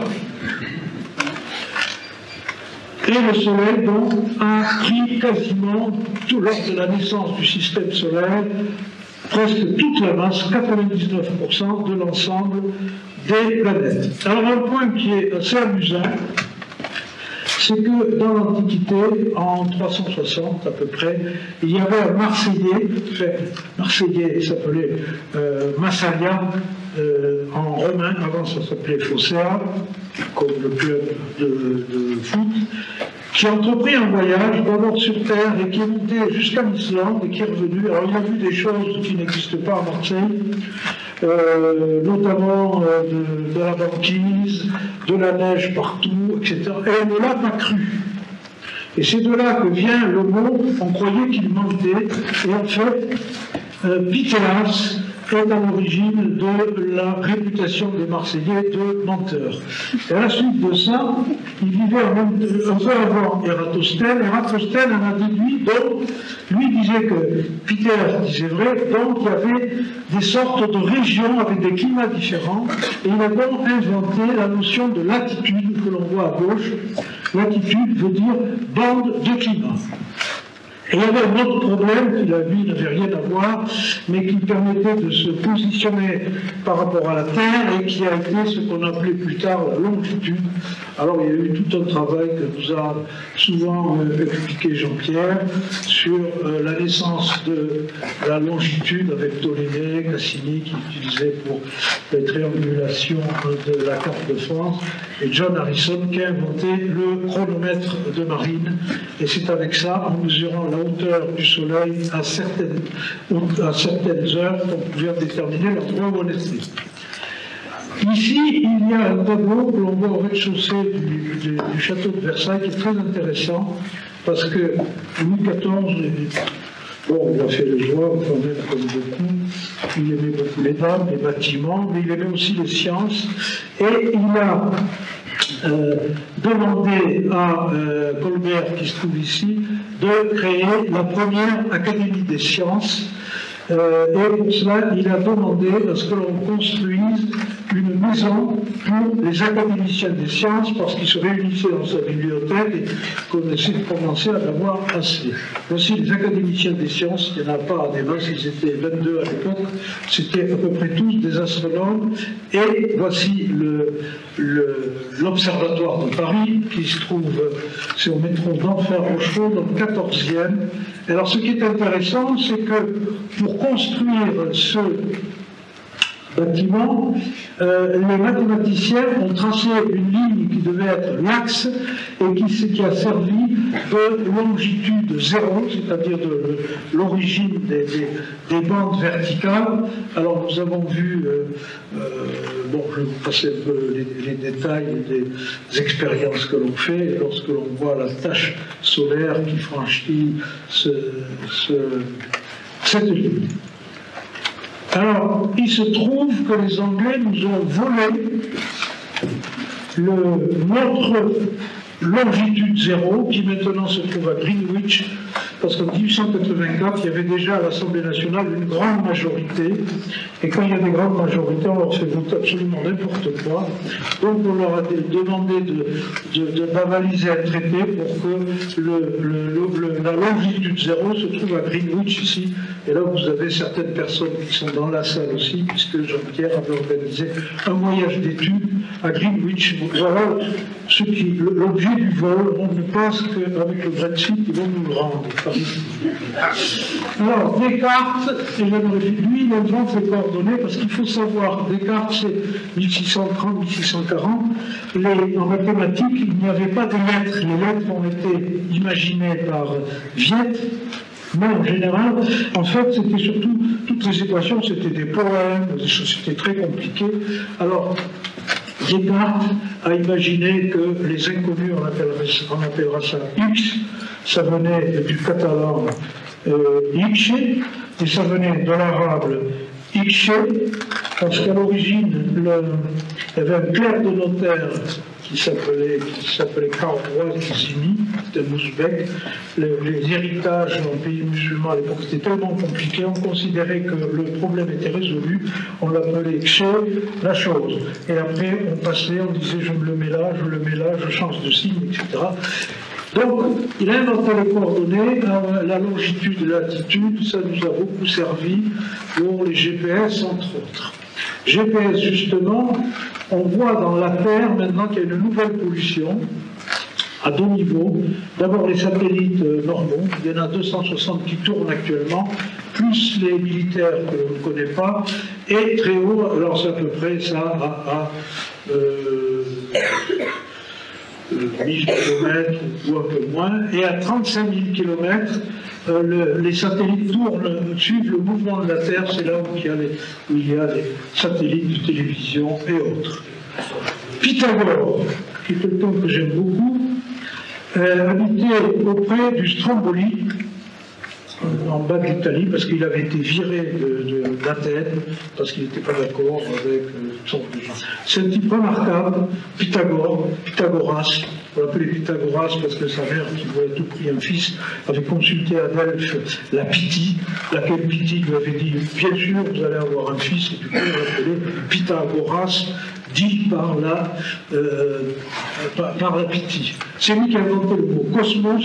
Cosmos voulait dire, en grec, on sait de toujours dire harmonie parfaite. Il a inventé le mot philosophia. Philos aimait, sophia, la connaissance. Alors ça c'est très curieux, mathématikoi et acousticoi, comme il avait une école, il y avait les élèves qui comprenaient, on les appelait les mathématikoi, mathéma ça voulait dire euh, matière, nature, et acousticoi c'était les gens dont le cours rentrait par une oreille et sortait par l'autre, et ça donnait acoustique. Alors, on a constaté, ben il faut savoir tout ça. Si vous ne savez pas l'origine des mots, comment vous allez comprendre Donc, quand vous descendez dans une mine, il fait très chaud. Pourquoi il fait très chaud? Parce que nous vivons sur une boule de feu. Je ne sais pas si vous vous rendez compte, d'ailleurs moi je vais vous dire, je vais voir tout de suite, je vais vous le montrer, mais je ne suis pas sûr que ça marche. Ouais je vous passe. Vous voyez sur quoi nous vivons Voilà, nous sommes là, par là, voilà ce qu'il y a en dessous de nous. on peut arrêter de rire, hein, parce que c'est pas simple. Hein. vous voyez, voyez plusieurs croûtes qui, qui se chevauchent l'une sur l'autre, et ça donne un tsunami. Alors, si vous habitez à Fukushima, c'est quand même intéressant. Alors, vous voyez, tout, ceci, c'est des convections, comme ça, vous en avez, je ne sais plus, je crois que c'est la fin, non. Et ça va vous donner, ça va ressortir par des fissures, lesquelles fissures vont vous donner des, des, des, vous allez voir ça, des, des volcans, voilà, voilà. Bon, donc, nous avons, nous habitons ici, en dessous de nous, nous avons une autre coquille. Alors là, nous sommes à peu près au fameux 15 degrés du GIEC. Nous descendons de 35 km à peu près ici, nous arrivons à 100 degrés. Nous redescendons là maintenant à 2800 km, nous sommes à 3700 degrés, nous redescendons encore plus, etc., etc., jusqu'à un endroit qu'on appelle la graine. Alors ceci est quelque chose de solide, c'est du fer nickel, et, identique à celui des météorites. D'ailleurs une météorite ici qui qu'on aurait pu mettre là, si vous voulez puisque c'est la même matière. Ensuite, vous avez une partie liquide qui est du métal fondu, qui va avoir une importance capitale. Et puis, quand vous voyez euh, euh, une vue par la tranche, c'est à peu près la même chose, vous avez toujours la graine, le noyau liquide, le manteau inférieur, le manteau supérieur, la croûte et des petites fissures qui, euh, par lesquelles tout ce feu peut sortir. C'est le le principe du volcan. On l'a encore ici. Alors c'est quelque chose qu'on a découvert il y a assez longtemps, en 1898, et la détection du noyau lui-même en 1906. Alors on se pose la question, mais ils ont fait comment pour savoir ça? Et en fait, on s'est aperçu que l'intérieur de la Terre n'est pas du tout homogène. Il y a des grosses partie chaude et froide. Par exemple, la partie la plus chaude se trouve dans le Pacifique centre. Là, vous avez Tahiti, euh, euh, Hawaï quelque part. Alors maintenant, on sait à peu près comment ça se trouve en dessous. Vous voyez toutes ces parties-là, c'est quand même assez extraordinaire d'avoir découvert ce genre de choses. Et alors, vous voyez, voilà les parties froides qui sont vers la surface, les parties chaudes qui sont plus en détail, et tout est en mouvement, puisque la Terre tourne sur elle-même. Et alors, on a découvert ces, ces couches internes Hein, il y a à peu près un an, on a visité le, le synchrotron euh, lumière soleil dorsé, et on nous disait qu'ils avaient pu détecter le, séisme de Fukushima, euh, qui était pourtant à, 9000 et quelques kilomètres. Cela vient de ce qu'on mesure, on suit euh, avec des sismomètres les, tremblements de ondes par les tremblements de terre avec Jean-Pierre à la SAF, il y a un chercheur qui nous a amené un sismomètre qui va atterrir, moi je dis à Marcy, enfin, chaque fois on reprend, atterrir sur Mars le 26 novembre. Vous êtes invité par Jean-Pierre. Euh, alors c'est grand comme ça. Vous imaginez, on va poser ça sur sur Mars, avec ça, on va essayer de voir quelle est la même structure que ce que nous avons vu précédemment, parce que pour l'instant, on sait qu'il y a un noyau métallique, on l'a su par des radars, mais on ne sait pas de quoi il est constitué. Il y a d'autres boules comme cela, donc une boule de, glace, où là, on ne peut pas faire d'expérience. Alors revenons à notre ami Michel Maillot. Euh, dans un couloir, j'avais pu parler avec lui et il m'avait dit que les planètes, finalement, c'est très simple, c'est des sous-produits de leurs étoiles. Il vous dit ça de l'accent vaudois. Alors d'où viennent les noyaux Dans l'univers, sur, sur les planètes, notamment sur la Terre, nous avons des nuages de vapeur d'eau. Dans l'univers, nous avons des nuages moléculaires, c'est-à-dire autre chose que de la vapeur d'eau. Généralement, c'est de l'hydrogène. Aussi, cette superbe photo qu'aucun humain n'a vue, bien sûr, c'est des, photos très surexposées avec de nouvelles techniques qui sont brillamment utilisées par au moins deux ou trois personnes qui sont dans l'assistance qui, sont, euh, qui peuvent manipuler des logiciels pour révéler ce genre de choses. Alors voilà, ces, nuages que vous voyez, pleins de matière, ils arrivent par gravité à se concentrer, se concentrer de plus en plus fort, et euh, par conservation du moment cinétique, c'est-à-dire de la facilité de tourner, ce système se met à tourner, se met à s'aplatir, exactement comme le ferait une, une patineuse, et petit à petit on commence savoir ce qui pourrait être un, système solaire que l'on voit tourner ici. Alors attendez, je vais vous montrer. Est-ce que, est-ce que PowerPoint va m'obéir? Ouais. Voilà. Voilà un système solaire, vous voyez, comme euh, avec le système que j'ai décrit tout à l'heure, où vous avez des cailloux, toutes sortes de choses qui se mettent à tourner, et c'est comme ça que les futures planètes vont tourner évidemment dans le même sens et dans le même plan. Voilà, elles s'obtiennent petit à petit des grandes matières qui nous donnent après ce genre de choses, ou différenciées comme ceci, et c'est ainsi que notre ami André Braïc, qui hélas a rejoint les étoiles il y a 12 ans, nous dit nous sommes des enfants du soleil. Alors si on va aller plus loin, vous avez notre autre ami, on a beaucoup d'amis, vous savez, hein, Alessandro Morbidelli qui m'avait aidé pour faire une conférence il y a trois ans maintenant. Ceci est, le résultat de ses calculs. Il a voulu savoir tout ceci. Euh, attendez, tout ceci là, euh, comment ça a pu se, euh, se, propager. Et donc on s'est retrouvé avec plusieurs ceintures qu'on appelle les ceintures d'astéroïdes, qui sont des gros cailloux. Nous en avons deux, une entre Mars et Jupiter et une à l'extérieur de Neptune. Ça c'est une vue d'avion de notre système solaire. Alors maintenant on en voit. Voyez, c'est plus des dessins, ça c'est la nébuleuse d'Orion, c'est-à-dire un énorme nuage moléculaire qui ressemble à un oiseau, et on voit des choses comme ceci. Voyez, on en voit plein. Alors maintenant qu'on en voit plein, eh ben, les gens se mettent à chercher. Alors, le miracle de PowerPoint, vous allez voir.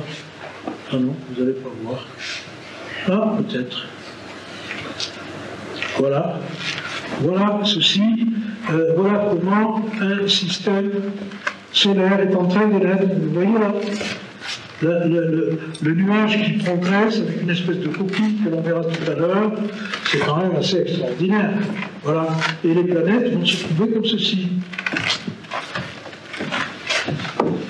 Alors voilà ce qu'a découvert le, beau jeune homme qu'on a vu précédemment, ça s'appelle le modèle de Nice parce que ça a été fait à l'observatoire de Nice. Euh, en 2005, en 2011, vous voyez que c'est très récent.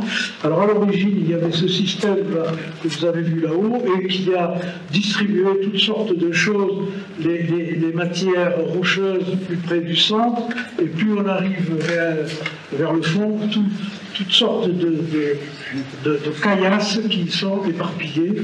Et puis il y a eu étant donné la rotation de ce système, il y a des gros systèmes qui se sont rapprochés comme ceci, c'est ça la découverte de Morbidelli là, et qui vont se rapprocher du Soleil en comprimant tout ce qu'il y avait là. Et, le Saturne va également arriver, va se rapprocher de, cet endroit. les mouvements vont devenir synchrones, comme on le voit là, et vont repartir euh, parce qu'on euh, a calculé que Saturne allait se désengager de la résonance et va tirer vers ceci tous ces, gros cailloux comme ceci vont être les, trois, les quatre premières planètes Mercure, Vénus, la Terre et euh, Mars.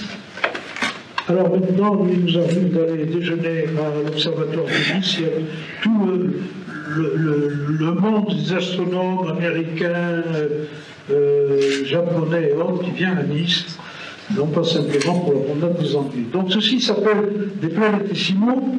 Alors ces planétésimaux, en se, en se regroupant entre les matériaux les plus, les, plus forts, dire qui pèsent le plus, c'est-à-dire le fer, vont se retrouver au centre. C'est la raison pour laquelle nous avons des, un centre euh,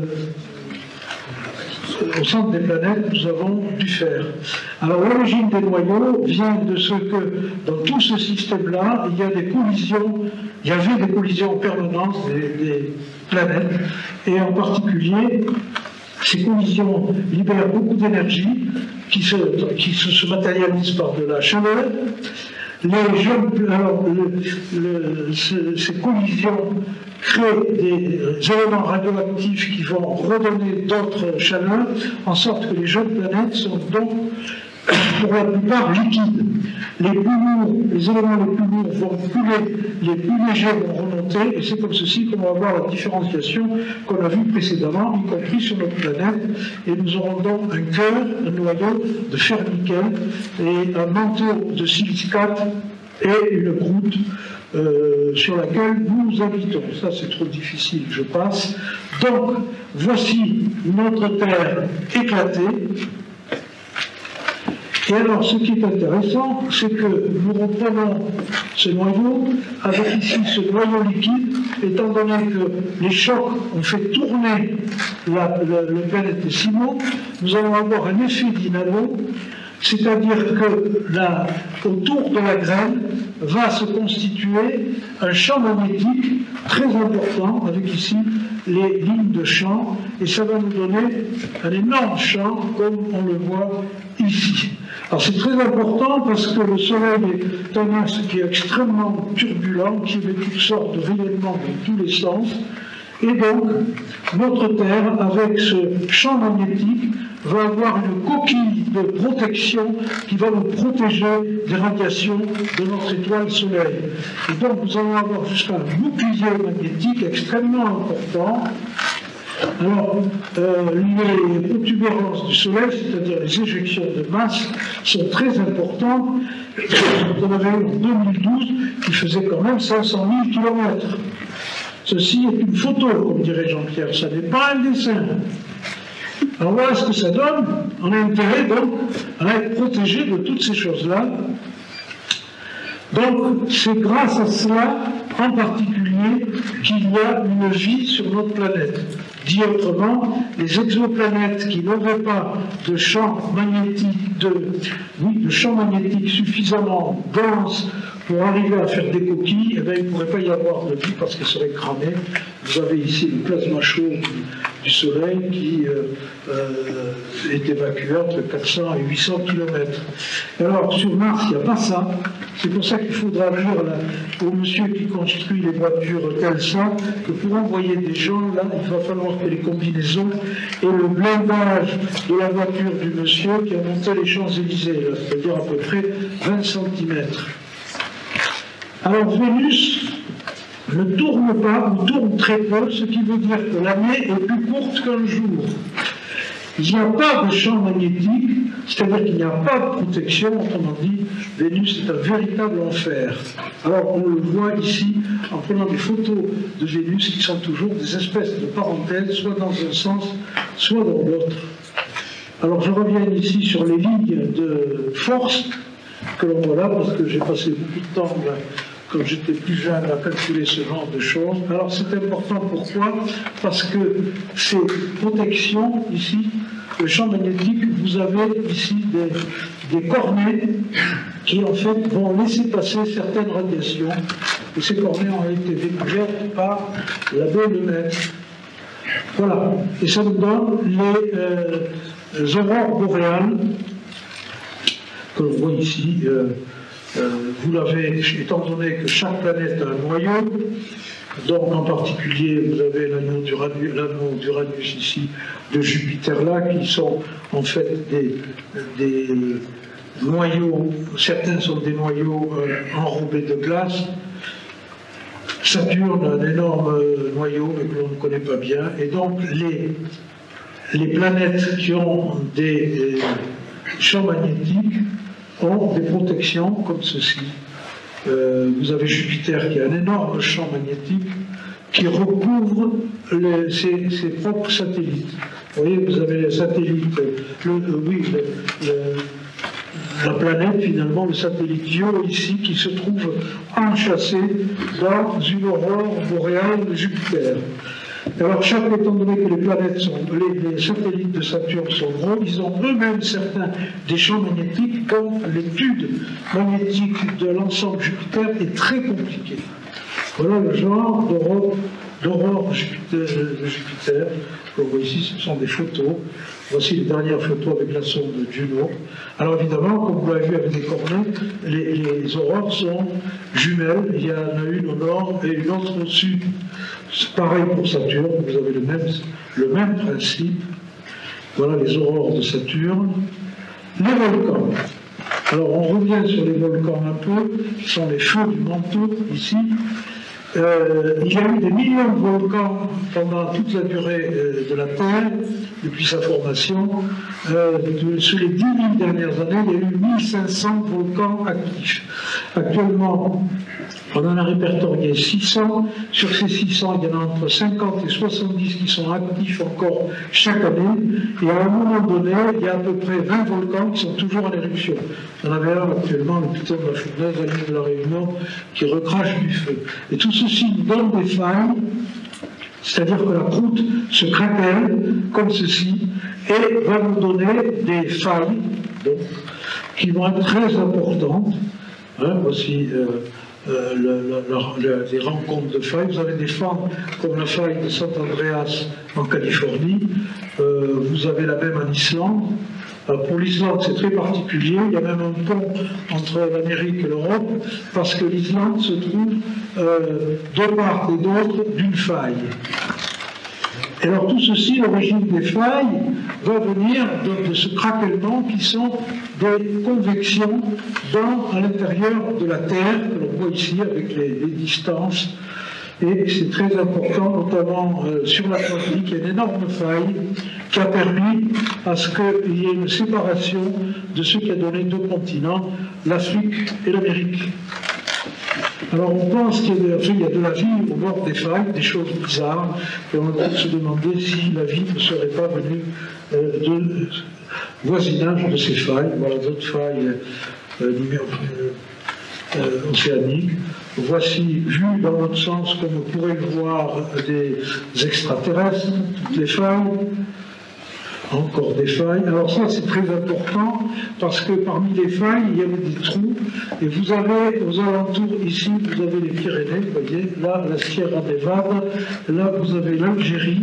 Et il y avait des lacs, je dis bien des lacs, un lac Méditerranée, qui est devenu la Méditerranée, un lac qui est devenu la mer Égée, un lac qui est devenu la mer Noire, jusqu'au jour où cet endroit qui se trouve ici qui est maintenant le détroit de Gibraltar, a laissé entrer toute une partie d'eau venant de l'océan Atlantique, que l'on voit ici, vous voyez très bien. Vous voyez comment était l'Italie, comme ceci, et ça a donné ça. Et euh, après, euh, voici la, euh, la configuration initiale de cet endroit. Donc voilà toutes ce qu'on appelle les plaques euh, alors ces plaques nous donnent des points chauds un peu partout, qui en fait sont des volcans souterrains. Et voyez la grande ceinture de feu du Pacifique. Ça nous donne des volcans partout, notamment sur Io. Vous avez ici le volcan qui se trouve sur Mars, qui fait 21 000 mètres d'altitude, un diamètre de 600 km. Ça, c'est le volcan, euh, je ne sais plus comment, sur Vénus. Voilà sur Mars l'Olympus Mons. Il est tellement grand qu'il contiendrait dans une carte de France. Le Max Mons sur euh, euh, Vénus, il y a 1600 volcans actuellement que l'on répertorie par sonde. Voici sur Io la fameuse planète Pizza, qui est tellement près, enfin tellement près, elle est quand même à euh, plus de 400 000 km, c'est-à-dire plus loin que, la Lune. Hein. Euh, mais l'attraction de Jupiter euh, provoque euh, toutes ces choses-là. voyez, on, voit même des photos des volcans en éruption. Les éclipses. Alors, tout tourne, vous voyez ici la Lune qui tourne autour de la Terre, la Terre qui tourne autour du Soleil, et il se trouve que quand la Terre, la Lune et le Soleil sont sur un même axe, hein, c'est ce qu'a découvert euh, Thalès, eh bien, on a une tâche qui représente une ombre des deux côtés, voilà une tâche comme ceci. Ça nous donne un, spot qui bouge, ça fait du 500 mètres à la seconde, et le diamètre d'un spot c'est-à-dire du nombre est de 268 km. Voici ici quelque chose qui a été photographié par une navette Donc nous sert pour étudier la couronne. Nous avons eu, c'est pareil également, lorsqu'il y a euh, Vénus qui va traverser ce même axe, comme ceci. Ça se passe une fois tous les 100 et quelques années. Il y en a une en 2004, vous voyez ici à plaisir, juste à côté, là, dans la cour. Euh, L'ombre de Io, vous voyez là, c'est une éclipse. Hein. On voit deux, il y avait une mètres là-haut. La Lune, alors la Lune est un morceau de la Terre. Voici une superbe photo de Pascal ici. Euh, les cosmonautes ont ramené plus de 420 km de roches qui ont permis de l'analyser et de reconstituer ce qui s'est passé. La Terre a été percutée par une autre planète qu'on appelait Theia. Euh, a calculé qu'il y a eu jusqu'à 122 planètes qui tournaient autour du Soleil, qui après se sont euh, euh, mélangés, mais de temps en temps il y avait des chocs, dans celui-ci, vous voyez un peu le choc qu'il y a eu sur la Terre, c'était un choc qui était très incident, a, créé, qui a arraché une partie des roches de la Terre, comme ceci, on voit mieux là, vous voyez, en deux, trois, ça a créé un petit anneau, c'est-à-dire que pendant un moment la Terre avait un anneau comme Saturne, qui s'est regroupé et qui a donné la Lune. Alors on a retrouvé des traces de, l'impact. Euh, la Lune est donc un morceau de la Terre qui est très importante. Au départ, la distance était très faible, 22 000 km, 380 000 km actuellement. Et c'est euh, ce choc qui a créé, qui a fissuré la Terre et qui a créé ce qu'on appelle la tectonique des plaques, c'est-à-dire le mouvement des plaques sur la Terre. Alors c'est très intéressant lorsque l'on calcule la naissance de la Lune qui a permis de, euh, renforcer d'abord le, noyau avec une gravité suffisante qui a permis de, de conserver euh, notre atmosphère, euh, qui nous sert également de, qui nous sert de gyroscope, qui nous maintient euh, dans une même position. Et le choc a créé un axe de 23 euh, degrés, c'est-à-dire qu'au lieu d'avoir d'être de tourner perpendiculairement sur le plan que l'on a vu tout à l'heure, on est légèrement incurvé, ce qui est très important, ça nous permet d'avoir des saisons.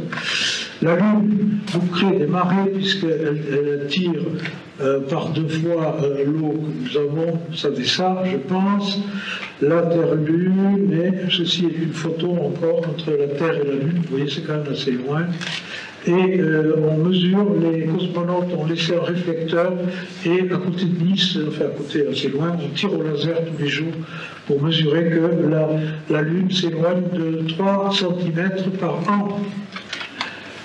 Alors, on peut dire merci à la Lune qui nous a permis, de, entre autres, d'avoir une vie stable sur la Lune. Au départ, la, la, vitesse de la Terre était telle que le Soleil se levait et se couchait en 3 heures. Et ce n'est que lorsque la Lune s'est éloignée qu'elle a pu ralentir. Pareil pour Vénus. Saturne qui a 62 lunes. La plus grosse est Titan, que l'on voit régulièrement à chaque nuit des étoiles. Alors il y a une relation particulière avec la Terre. Alors le Soleil, bon, le Soleil tourne sur lui-même en 25 jours terrestres. Sa vitesse orbitale, nous l'avons vu, de 240 km par seconde en tournant autour du centre de, euh, de la galaxie, qui est, un trou noir, on le sait maintenant. Euh, sa température de surface est 5700 degrés. À l'intérieur, c'est 15 millions de degrés. C'est un, un, réacteur de fusion nucléaire qui transforme de l'hydrogène en hélium et ce qui nous envoie euh, vers la Terre, enfin vers l'espace, répond à la fameuse équation d'Einstein.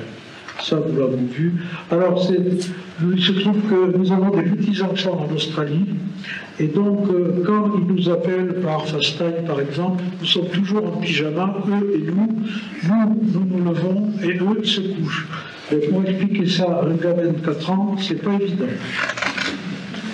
Voici des photos euh, de soleil levant euh, à différentes époques. On passe à Nice, on a pu recalculer toute la, vision apparente du soleil. Voici un lever de soleil sur Mars, c'est exactement pareil, à cela près que le ciel n'est pas bleu, puisque l'atmosphère ne filtre pas les mêmes longueurs d'onde. Voici ici le soleil. Alors ça c'est important. Les, ce sont les Égyptiens. D'habitude c'est une civilisation qui est à la fois intéressante et pas intéressante. Intéressante parce qu'on a énormément de restes de documents. Pas intéressante parce qu'ils s'occupaient que de l'amour. Mais par contre, ils ont trouvé que le soleil était plus haut, c'est-à-dire les, les, les ombres étaient au plus bas, tous les 365 levées et couchers du soleil. Alors, à Athènes, il y a une rose des vents qui est à l'origine de nos points cardinaux. Et toujours les Grecs, et toujours l'Antiquité. Quand il n'y a pas de soleil, on appelait ça nord. Ça vient de mer, qui en sanskrit toujours voulait dire ce qui est à gauche de l'endroit où se lève le soleil. Après, on a déduit euh, ce que vous savez, très simplement. Le soleil tourne. Bon, lorsqu'on prend une photo, enfin, des photographes doués voient ça, pour le voir vraiment, on, ne, ne, tourne pas autour de l'étoile polaire, mais autour de quelque chose euh, qui se trouve légèrement décalé. Et si l'on veut faire notamment des photos, euh, nous devons aligner l'axe optique de nos instruments, nos télescopes, sur ce point, ce qu'on appelle la mise en station. Pareil pour l'hémisphère sud, à seul après, là vous avez la pointe du sud, c'est qu'il n'y a rien au sud. Donc il faut faire une triangulation pour faire une mise en station dans l'hémisphère sud, ce qui est moins facile. Alors, on a appris que la Terre tournait autour d'elle-même, c'est ce monsieur qui a trouvé ça, euh, vous avez les dates là-haut, et ça nous a permis d'avoir une alternance jour et nuit, ce qui favorise un cycle de vie avec une alternance de repos-activité. Mine de rien, si vous avez une planète qui ne tourne pas autour d'elle-même, euh, bonjour pour les habitants. Donc voilà les chocs dont on a parlé. Alors tout ça a été à peu près choqué, ce qui veut dire que les planètes, elles ne tournent pas perpendiculairement au plan de rotation. Ce qui nous donnerait normalement euh, la tour Eiffel devrait être comme ça et non pas comme ceci. Voilà les fameux degrés dont je parlais tout à l'heure. Alors, ça nous permet également, étant donné que les densités ne sont pas homogènes à l'intérieur de la Terre, on a l'axe de rotation bouge très légèrement tous les 21 000 ans. Et le gars qui a trouvé que la Terre tournait autour du Soleil, c'était Aristarque, Aristarque de Samos. Donc voici la photo, la statue à Samos, et là, il a trouvé ça toujours pareil avec les éclipses de lune. Alors, on a fait euh, on a essayé de, rendre compte du mouvement des autres planètes avec des systèmes assez compliqués mais qui fonctionnaient quand même. C'était les systèmes Ptolémée, les fameuses épiciques. Et puis il y a eu la révolution de Copernic 16 ans après. Alors il a trouvé ceci de la façon suivante. Copernic était astronome à l'origine, il travaillait avec un gars qui s'appelait Dominicus Maria, et il, s'intéressait aux occultations d'étoiles, c'est-à-dire quand, une étoile passe euh, derrière ou à côté d'une autre, et en a déduit qu'étant donné que la Terre et Mars ne, tournent pas au même, à la même vitesse, euh, on avait un mouvement rétrograde de Mars et il a réussi à extrapoler que ça venait de ce que les planètes tournaient, tout au moins la Terre et Mars, autour du Soleil. Alors là, il y a une légende. Hein, on a dit régulièrement, on le redit encore, que Copernic avait la trouille de passer devant l'Inquisition, euh, devant l'Église, qu'il a dit dans son dernier râle que la Terre tournait autour du Soleil, c'est complètement faux. Il avait trouvé ceci, il est mort en 1543, il avait trouvé ceci en 1511. Il avait, été invité, on a parlé dans un concile euh, au Vatican. Euh, dès 1933, on connaissait l'héliocentrisme, l'Église connaissait l'héliocentrisme. On a même porté le manuscrit de son livre au pape et on s'est servi de ce manuscrit pour modifier le calendrier. Et à sa mort, ce qui s'est passé, c'est qu'on lui a apporté une nouvelle version imprimée de son livre. Et euh, l'Église avait accepté, simplement il y a eu une querelle universitaire pour arriver à penser Galilée, et donc on a mis beaucoup plus tard, c'est-à-dire 70 euh, euh, ans après, son livre à l'index. Alors, Galilée, euh, Copernic observait pas vue sur, sur cette tour que j'ai pu prendre en photo. Alors pourquoi une tour? C'est parce que tout le monde se chauffait avec des cheminées, il y avait des fumées partout, puis on se montait, puis on arrivait à voir quelque chose. Galilée a prouvé l'héliocentrisme de deux façons avec les satellites de Jupiter, que l'on voit ici sur son manuscrit, et puis également avec les phases de Vénus qui montraient que la, euh, planète tournait autour d'elle-même. Euh, et ce, schéma a été montré lors du procès de Galilée, et après, pour des raisons simples qu'on pourrait expliquer, on n'en a pas tenu compte. Tout ceci nous donne les saisons et les climats, Bon, vous voyez pourquoi on a chaud en hiver, pourquoi on a froid, c'est dû à cette fameuse inclinaison. L'eau. Alors l'eau, euh, l'eau, ben, vous voyez ici que euh, cette eau est en circuit fermé, ce qui veut dire que nous sommes en train de voir l'eau qui a été pissée par les dinosaures.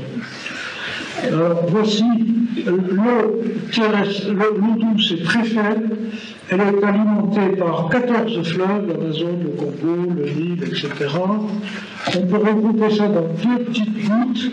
Une goutte d'eau salée qui fait, 3000, euh, qui fait 1300 et quelques, euh, une sphère de, diamètre 1300 et quelques kilomètres, alors que l'eau douce est, toute. Euh, il y a très peu d'eau douce, contrairement à ce que l'on peut croire. Il y a des courants sur l'endroit et revenir au même endroit avec un côté chaud en surface et un côté froid en, en, dessous de la Terre. Voilà ici tous les courants. Euh, on voit ici très clairement qu'il y a eu de l'eau sur Mars à un moment donné, en comparant ces photos, euh, qu'il y a eu des nuages également. En fait, lorsqu'on voit la Terre, surtout des nuages, on voit que ces nuages bougent, ils bougent toujours dans un, des sens très particuliers, on voit qu'ils servent beaucoup aux gens qui font la route du Rhum, notamment, et quand on regarde la météo à la télé, on s'aperçoit que le vent, généralement, part de l'ouest en raison de ces mouvements-là. Des cyclones, il y en a partout sur Terre, il y en a sur Saturne, il y en a sur Mars. Euh, euh, l'atmosphère est une très fine pellicule que l'on voit ici. Elle fait 35 km et il n'y a que 8 km de respirable. Alors, ce qu'on oublie de dire chaque fois, c'est que euh, l'atmosphère, c'est surtout de l'azote, 78%, l'oxygène, c'est 21%. Euh, alors, tous les mouvements a autour de la Terre sont très compliqués, les voici ici tous réunis. Il se passe beaucoup de choses autour euh, avec nos champs magnétiques et avec les nuages. Et les atmosphères des planètes sont complètement différentes. Vous voyez ici notre taux d'oxygène est 21%, partout c'est 30, 3%, 3%, 10%, 15%, 19%, là on est sur Uranus et sur Neptune. Et le planisphère, c'est comme on a la coutume de voir le planisphère en haut, voilà comment ça se passe en général c'est complètement différent. Donc l'étude des planètes est très intéressante parce que ça remet nos idées en place. Alors l'exception terrestre, la vie s'accroche par gravité euh, avec une certaine masse.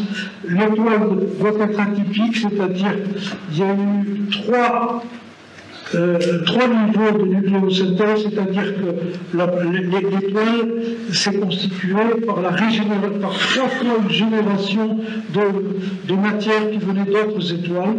Tout ça pour avoir plusieurs métaux, va, on va plus tard.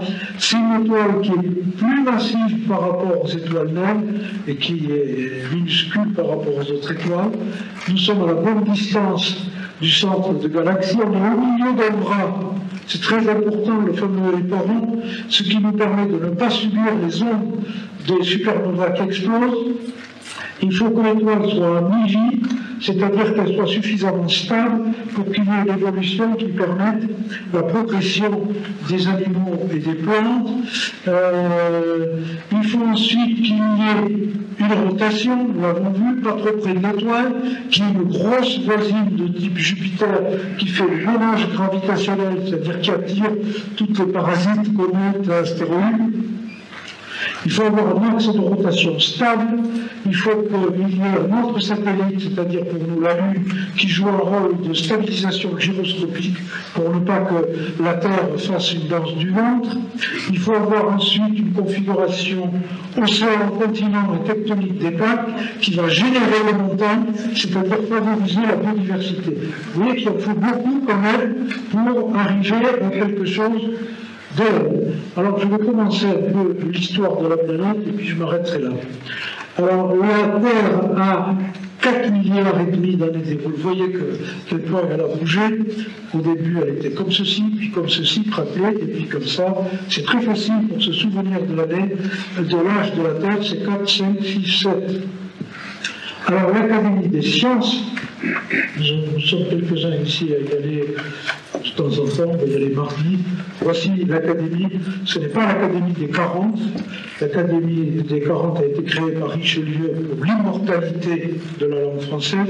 C'est pour ça que les gens s'appellent euh, des immortels. Ils sont 40 parce qu'il y en a un qui voulait tout prix avoir le même fauteuil que le président. Et au mobilier national, on en a trouvé 40 pour qu'il n'y ait pas de jaloux. Ça a donné 40 académiciens.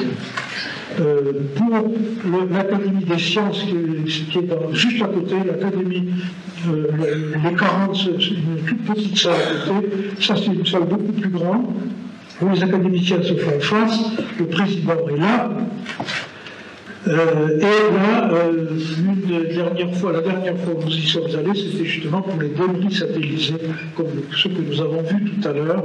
Revoilà notre ami Morbidelli, là, qui présidait la séance. Vous avez là-haut ici les statuts des grands académiciens, et ici vous avez Bonaparte, qui était académicien section mathématiques. Il y a d'abord il y a un théorème de Bonaparte que j'ai jamais réussi à démontrer. Alors, il nous expliquait pourquoi nos planètes ne sont pas chaudes grâce à Jupiter, pourquoi Mars est, petit par rapport à la Terre, alors il nous a expliqué pourquoi, etc.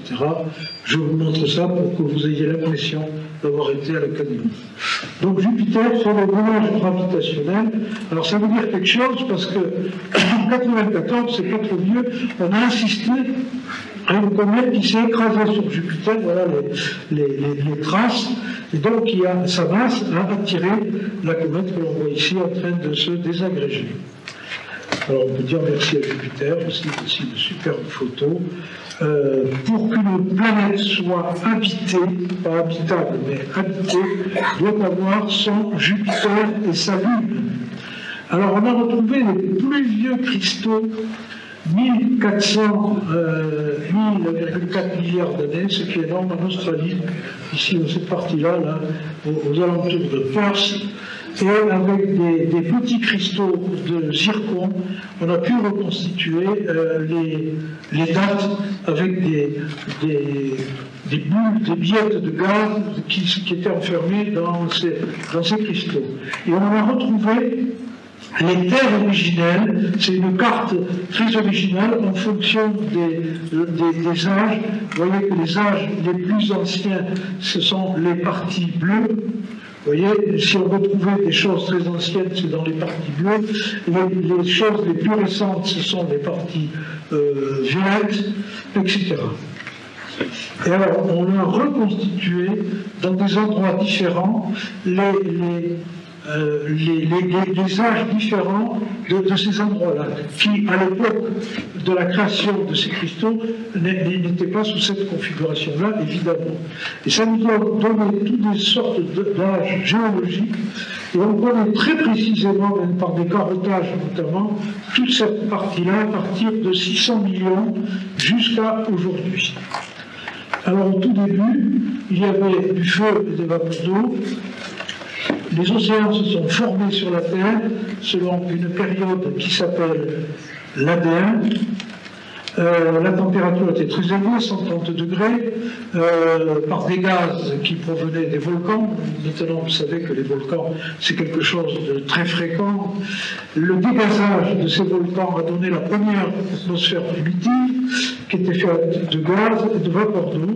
Le refroidissement de la planète euh, a permis d'avoir de la vapeur d'eau et les premiers nuages provenant des éruptions volcaniques. Et ça nous a donné une composition de l'atmosphère. Vous voyez qu'il fait avait énormément de CO2. Hein, et maintenant, il recommence à, y par, par la bêtise des hommes, ça recommence à remonter.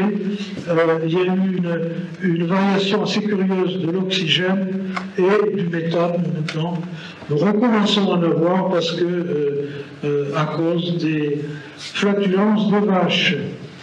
Le pluie nous avons eu des océans, un océan qui faisait entre 50 et 80 degrés. Euh, la solidification est arrivée à 4,3 milliards d'années, euh, où il y avait encore beaucoup de méthane et où le soleil était beaucoup plus faible. Nous avons assisté, c'est l'équipe de Morbidelli qui l'a trouvé à ce niveau-là, un bombardement météoritique très important qui a permis de cratériser absolument tout le monde pendant à peu près 50 millions d'années, centré à 3,9 milliards d'années. Hein, le bombardement, c'était 20 000 fois celui qui est aujourd'hui. Vous voyez un peu les gars qui étaient en dessous, il n'y avait personne. On voit encore des traces, et ça c'est dans le Manitoba, ça c'est en Australie, ça c'est aux États-Unis. Il reste 150, 156 cratères sur Terre, c'est très peu. Alors voilà une superbe photo de Sylvain qui est ici présent. Cette magnifique photo du terrain. On mesure les taux de cratérisation dus au bombardement. Regardez sur la Lune tout ce qu'il y a eu. Ici, une superbe photo de Daniel qui n'a pas pu venir parce qu'il y avait un barrage jaune pas loin de chez lui. Alors, il y en a beaucoup qui se sont pris euh, euh, des, gros impacts comme ceci. Euh, les premières glaciations, il y a eu beaucoup de glaciations sur Terre qui nous ont donné un premier effet de serre, et c'est cette glaciation qui après nous a donné l'origine de la croûte sur laquelle nous nous trouvons. Les premières vies datent de, de, 3,4 milliards d'années, donc c'est très, très loin, c'était des bactéries sans noyau, les fameux qui petit à petit ont eu des noyaux. On continue, la température est de 60 degrés, le gaz carbonique c'est 100 fois plus que ce qui est fait aujourd'hui, et alors notre ami Hawking, dans une photo prise par Jean-Pierre, au flash, alors qu'on lui avait dit qu'on l'éblouit avec des flashs, hein. tu vois, depuis il a la tête penchée depuis que tu as pris cette photo. Alors la base de la vie, une cellule, une autoreproduction et des protéines. Alors, tout être vivant est déterminé par une membrane. Alors, ça paraît simple, mais comment? Alors, tout ceci, ça permet de fabriquer d'autres choses. Alors, je me suis renseigné auprès d'un professeur qui habitait ici. Ça vient de ce qui est. Il y a des molécules hydrophiles qui aiment l'eau et hydrophobes qui n'aiment pas l'eau. Et en se mélangeant, ça finit par former une espèce de, dire, de gilet, de, de. Et tout ceci vient de l'argile. Et c'est pourquoi nous avons quelqu'un qui s'appelle Bibring, qui étudie beaucoup l'argile sur Mars. Il cherche désespérément de l'argile, parce que qui dit argile dit eau, et qui dit eau dit membrane, etc. Donc c'est cette membrane qui va permettre de, communiquer d'une cellule à l'autre, et ça va être le début du métabolisme. Une, cellule comme ceci peut se, répliquer jusqu'à 50 fois. Et ça donne après des petits éléments que l'on voit ici, qu'on appelle des coacervats, qui, sont, qui vivaient dans des boues, dans des flaques, dans des lagunes, et qui ont rejoint l'océan par des euh, marées ou des tsunamis.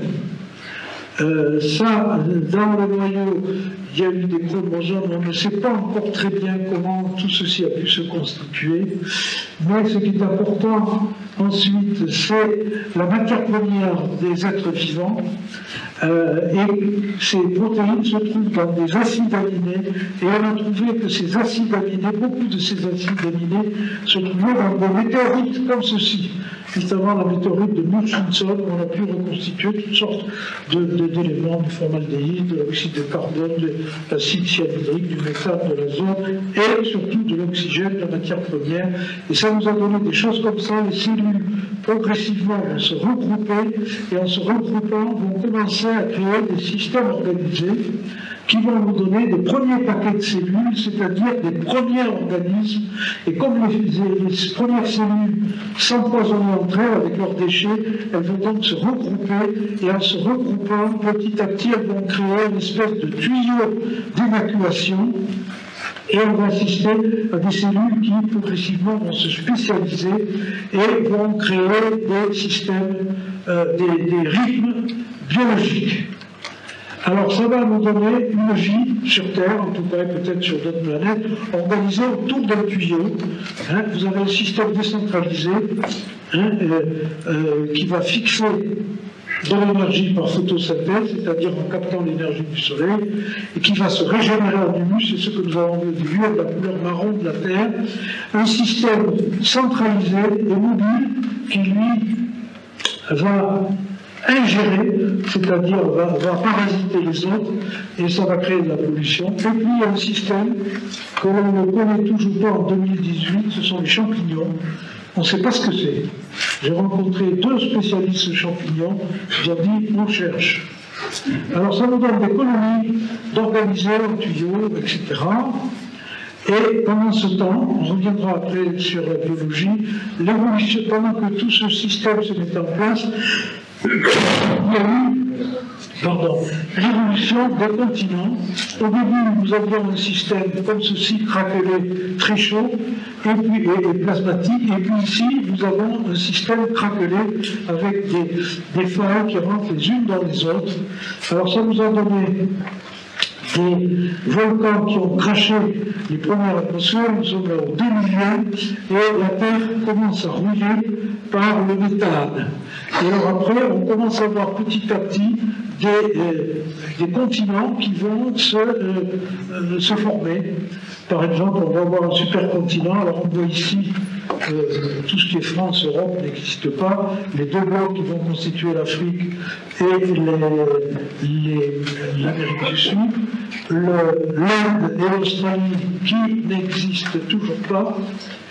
Et petit à petit, nous allons avoir ce cycle-là que vous voyez ici, que vous connaissez peut-être, qu'il faudrait détailler, mais il nous faudrait beaucoup de temps. Voici là nous sommes il y a 94 millions d'années. Vous voyez que l'Amérique s'est séparée de l'Afrique.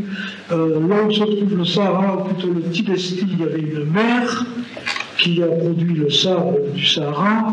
Et vous voyez ici que vous avez un énorme fleuve qui est l'Amazone, qui prenait sa source au Tibesti, ici, quand les deux étaient réunis. Alors on retrouve des poissons, vous allez amener un, vous le montrer tout à l'heure, des fossiles qui ont été enfermés là-haut et que l'on retrouve ici maintenant. Et vous voyez là quelque chose d'extraordinaire, l'Inde qui se trouvait sur l'Antarctique, qui s'est détachée de l'Antarctique qui s'est frotté avec Madagascar et qui petit à petit est monté, et pareil pour l'Australie, et c'est ce qui fait que maintenant l'Australie est devenue un continent conservatoire. Il nous arrive d'aller en Australie, je peux vous dire que les Australiens sont très fiers de cela. Alors ça nous donne des plis partout, qui nous donnent des chaînes de montagne. Ça c'est la vraie carte. La carte avait les états pour des astronomes n'a strictement aucun sens. Le cerveau est africain, le cerveau, c'est un morceau d'Afrique que vous voyez ici.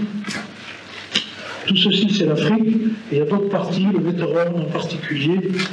Euh, voici ici euh, la France, mais je la présente de l'autre côté parce que j'en ai marre de la voir dans l'autre sens, ça ne signifie rien. Vous voyez qu'on est attaqué des deux côtés. Par la péninsule ibérique et par ce qui deviendra l'Italie, avec un renflement qui est le massif central, c'est ce qui a provoqué les volcans que vous voyez comme le plomb du Cantal. Est bonne cette Alors j'ai été vérifier, n'est-ce pas? Alors, Voilà ce qui s'est passé. Vous voyez, les Pyrénées que l'on voit ici, comme on l'a vu tout à l'heure, quand vous voyez des chaînes de montagne, ça veut dire qu'il y a deux énormes euh, masses qui se sont collisionnées entre elles et qu'il y a eu une surrection. Alors on voit la trace ici. Et alors, euh, étant personnellement pyrénéen, je suis rendu souvent dans la région, et il y avait des gens qui disaient qu'ils voyaient des coquilles d'huîtres des coquilles d'huîtres, évidemment fossilisées, au sommet. Alors, je demandais ce que ça voulait dire, s'ils étaient bien.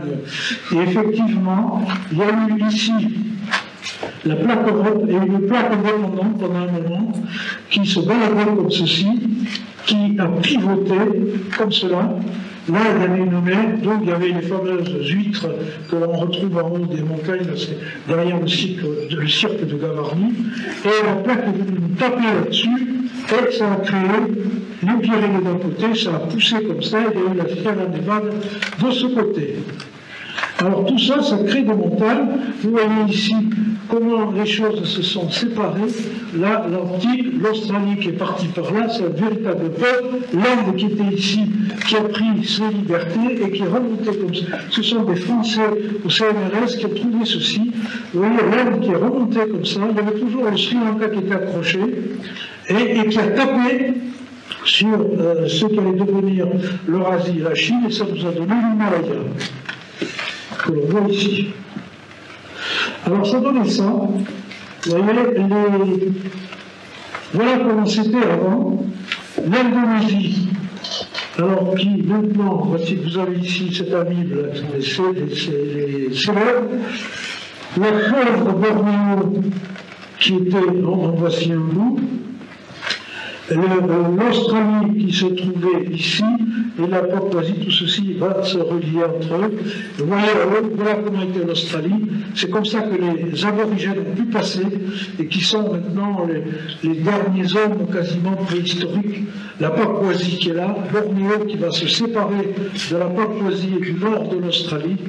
Et pour son grand malheur, puisque euh, lorsque les Anglais se sont euh, séparés de la Malaisie et de Singapour, en fait de la Malaisie Singapour n'existait pas. Encore, et les Hollandais de l'Indonésie, il y a eu une guerre qui a duré jusqu'en 1963 avec des gens qui s'appelaient Carnot, peut-être vous connaissez ça, qui revendiqué Bornéo, et maintenant l'Indonésie d'un côté, la Malaisie de l'autre, laquelle Malaisie, dans le traité de un traité de paix aussi biscornu que le traité de Versailles, c'est-à-dire qu'ils sont encore en guerre maintenant. Il y a des morceaux de Bornéo qui appartiennent à l'Italie, à, la Malaisie, et il y a le sultan de Brunei qui, est richissime, et qui commence à bousiller absolument toutes les forêts, comme ce que je vous ai montré tout à l'heure. Je ne veux pas parler des colons, mais il y a des moments où ça me dépasse. Voilà l'Europe. Voyez comment l'Europe C'est-à-dire que le Brexit, Brexit n'était pas possible. Voyez, tout ceci était relié entre eux, comme ceci. Il y avait déjà les lacs dont je parlais tout à l'heure, Méditerranée, ici. La Norvège, on se demande quand on voit une carte, qu'est-ce que fiche cette espèce de truc isolé En fait, ce n'était pas isolé au début. Alors tout ça, ça nous donne ce mouvement de plaques, ça fait remonter des, roches qui ont été tellement, tellement, tellement pressées que c'est devenu des pierres précieuses. Alors voilà les fameuses roches avec tous ces, mouvements de matière, il y a trois types de roches, les roches volcaniques, sédimentaires, métamorphiques. C'est extrêmement intéressant. Vous avez les roches volcaniques qui proviennent du magma par les, euh, par les volcans qui a donné notamment du granit.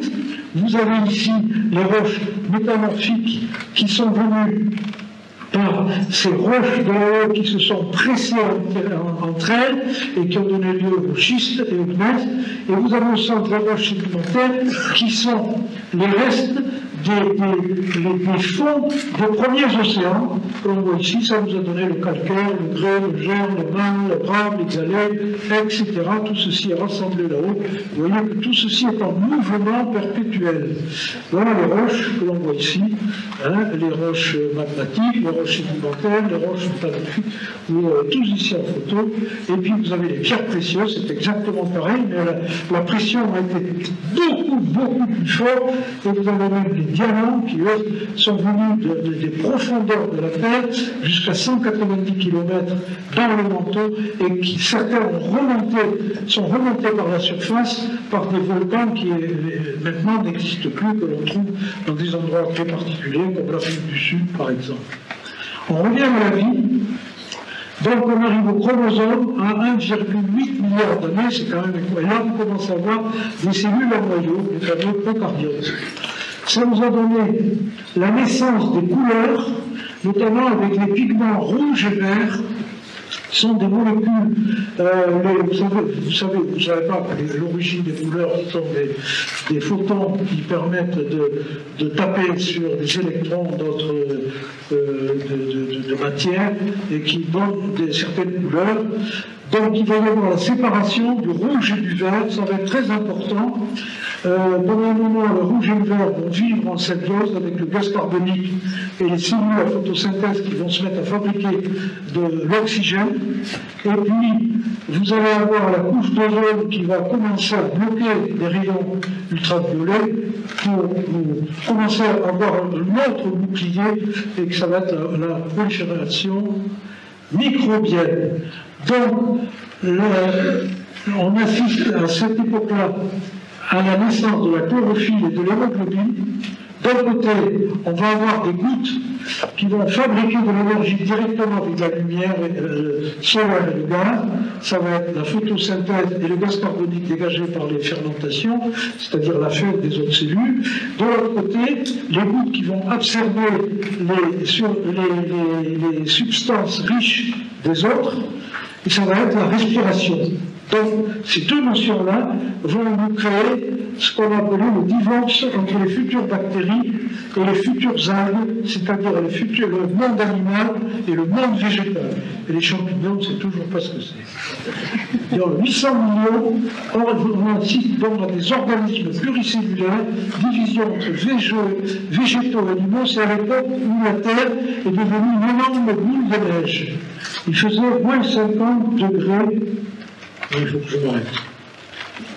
Dans le cycle des étoiles, c'est-à-dire que notre Soleil va bouger, euh, le Soleil va augmenter en taille et vraisemblablement va absorber la Terre. Et le fait qu'actuellement nous sommes à mi c'est-à-dire par là, c'est-à-dire par là, nous sommes dans une phase de stabilité de l'étoile et ça a permis l'évolution. Euh, qui nous a permis de donner la vie comme ceci, comme vous voyez. Alors hélas, maintenant, nous avons eu en 20 ans 60% des animaux qui ont disparu. Euh, il y a 600 millions d'années. Alors je vais juste très vite et j'aimerais terminer là. On connaît très précisément tout ce qui s'est passé sur les 600 derniers millions d'années. Vous avez l'étoile, l'évolution sur la planète Terre qui nous a donné ici la sortie de l'eau, c'est-à-dire des poissons qui commençaient à sortir de l'eau, avait leur nageoire, ça va finir par devenir des pattes. Vous allez avoir les poissons ici, qui progressivement vont nous donner notre forme à nous, comme ceci. Il ne faut pas oublier que notre colonne vertébrale, c'est une arête de poisson. C'est un peu dur à voir, mais j'y peux rien. Alors voyez ici une main, c'est une photo que j'ai prise que lorsque Jean-Pierre me faisait visiter le muséum d'histoire naturelle. Vous voyez, une nageoire de baleine, c'est une main. Alors, notre main, c'est une nageoire. Vous voyez ici tout le processus. Tout ceci, je passe là-dessus, je n'ai pas fini, je vous dis d'enlever. Les algues arrivent il y a un milliard d'années, hein, avec la nucléosynthèse. Alors ça, c'est très important. Les premiers animaux vivants, ce sont les éponges, et après les coraux. Euh, après arrivent les poissons, 530 millions d'années. 470 millions d'années, de mousses, les premiers végétaux, et ici, la sortie de l'eau. Vous voyez, par un bonhomme, on trouvé il n'y a pas très longtemps, c'était en 2004, ça s'est trouvé au Groenland, on l'appelait Tita Kali, je ne sais comment. C'était le chemin manquant pour savoir d'où on venait, c'était une découverte très importante. Voilà, ici, on voit en grand les nageoires de, de, cette bestiole qu'on appelle des tétrapodes, c'est-à-dire qu'il y avait quatre pattes. Les fougères, les conifères, les fleurs sont arrivées après. La première fleur, le magnolia, comme vous voyez le jardin magnolia, vous allez vous incliner, c'était la première, la première espèce de. On voit à quel point c'est. Ici, voici les, différents. Il a fallu 114 millions d'années. Les premiers membres, les anémones, l'invention du mouvement. Vous avez des anémones comme ceci, et vous allez avoir des choses qui vont progressivement se détacher comme ceci. Tous, ces, tous ces, ces, là vont nous venir par les marées que l'on voit ici, grâce à la, vie sur Terre sortie des océans par les marées. Donc grâce à la Lune, merci la Lune. Bref, euh, voici les, explosions d'étoiles qui nous donnent ce qu'on appelle la forêt galactique, c'est-à-dire selon les tailles des étoiles ici, elles vont avoir des vies différentes, donc des fins de vie différentes, donc des explosions différentes, donc nous allons avoir des résidus différents. Alors ça peut être des nébuleuses, ça peut être des, trous noirs, ça peut être toutes sortes de choses. Il y a que les, les, les, rouges qui, elles, survivent jusqu'à la fin. Alors ça, c'est important, je vais terminer avec ça. C'est la généalogie de la matière. Vous voyez ici que chaque fois que chaque fois qu'une étoile arrive en fin de vie, elle explose, mais sa, sa matière continue à, vivre, dans, si je dire, dans l'univers. Donc, il va y avoir des effondrements d'étoiles qui vont donner naissance à d'autres étoiles, qui vont se, se réeffondrer, qui vont donner naissance à d'autres étoiles, qui vont se réeffondrer. Et c'est comme ceci que petit à petit, on arrive au tableau de Mendeleev avec tous les éléments que l'on connaît. Alors ça nous donne tout ceci. Quand vous avez ce que Hubert va appeler, nous sommes des poussières d'étoiles, vous voyez ce qui vient, les, éléments qui viennent du début de l'univers, le lithium et. Vous avez le carbone, l'azote qui deviennent des petites étoiles, etc. On peut voir pour un homme ou une femme d'ailleurs que, que, son corps est composé de 65% d'oxygène qui vient une étoile massive, euh, vous avez euh, du calcium qui vient d'une supernova, vous avez du fluor qui vient des géantes rouges, etc. La symétrie, vous avez peut-être remarqué qu'on a deux bras, deux jambes, deux narines, de ceci, ça vient de l'avancement en flagelle comme les spermatozoïdes et comme les poissons puisque nous sommes issus comme ça. Nous avons des caractéristiques universelles, comme les yeux, que l'on trouve dans tous les animaux, euh, l'invention du vol, qui a un caractère universel également. Nous avons l'occupation des dinosaures pendant 160 millions d'années. Les humains, c'est uniquement 7 millions d'années et probablement 2 millions d'années pour commencer à avoir des humains qui ressemblent à nous. On voit encore des, vestiges avec notamment les kangourous. Mais les dinosaures pondaient des œufs et sont les ancêtres des oiseaux.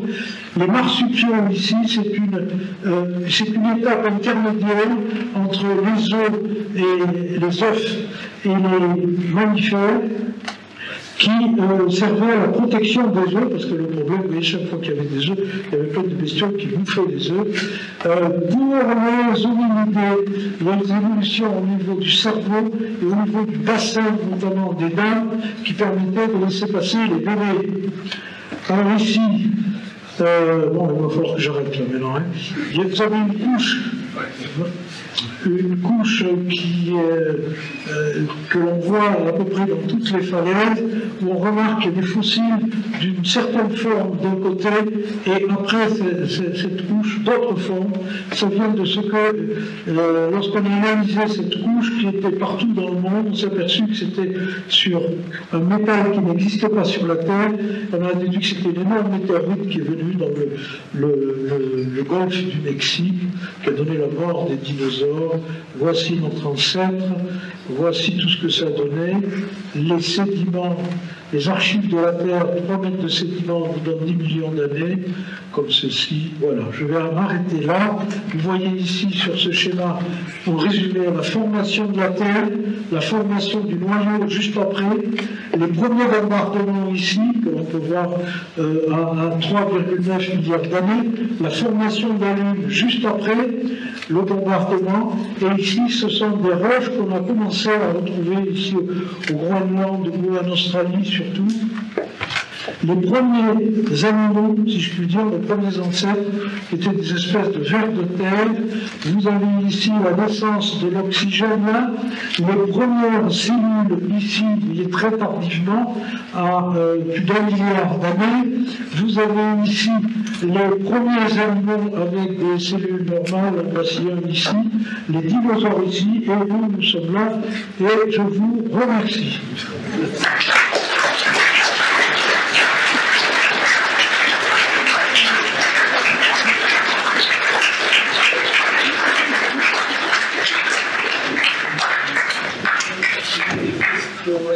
question de cette conférence. Alors, je voudrais vous signaler quand même que, comme vous avez pu le remarquer, les slides sont absolument magnifiques, mais malheureusement défilent un peu trop vite parfois. Il il est tout à fait possible d'apporter votre clé USB et peut-être de fait cette conférence, il n'y a aucun copyright, hein, n'est-ce pas? La science appartient à tout le monde. Voilà, il n'y a pas de copyright particulier, donc les slides sont vraiment très très beaux et peut-être que ça vous permettra de les regarder sur votre... Je la mettrai au téléchargement. Et elle sera au téléchargement sur le site de possibilité de la conférence,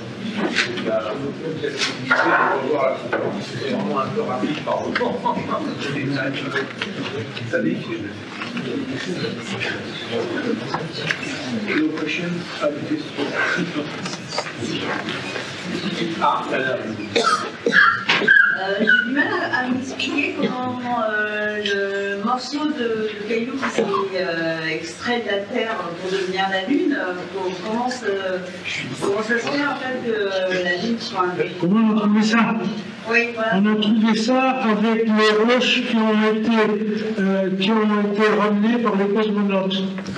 Il y a eu 420 kilos de roches on les a analysés, on s'est aperçu que c'était exactement la même composition de, toutes les roches, euh, enfin de toutes, les roches au, début de la Terre. Et on en a déduit que ça venait de, euh, que la Terre et la Lune étaient le même, euh, comment dire, la même origine. Autrement dit, la Lune, c'est un, morceau de la croûte qui a été arraché par une autre, planète. Et ça a été très commun, vous dites d'autres planètes sur d'autres étoiles, ça ne sera pas évidemment la même chose. Les, animaux, s'il y en a, ils n'auront rien à voir avec les nôtres. Est-ce qu'il y aura des végétaux On ne sait pas. Est-ce qu'ils finiront par comprendre ce que sont les champignons On ne sait pas.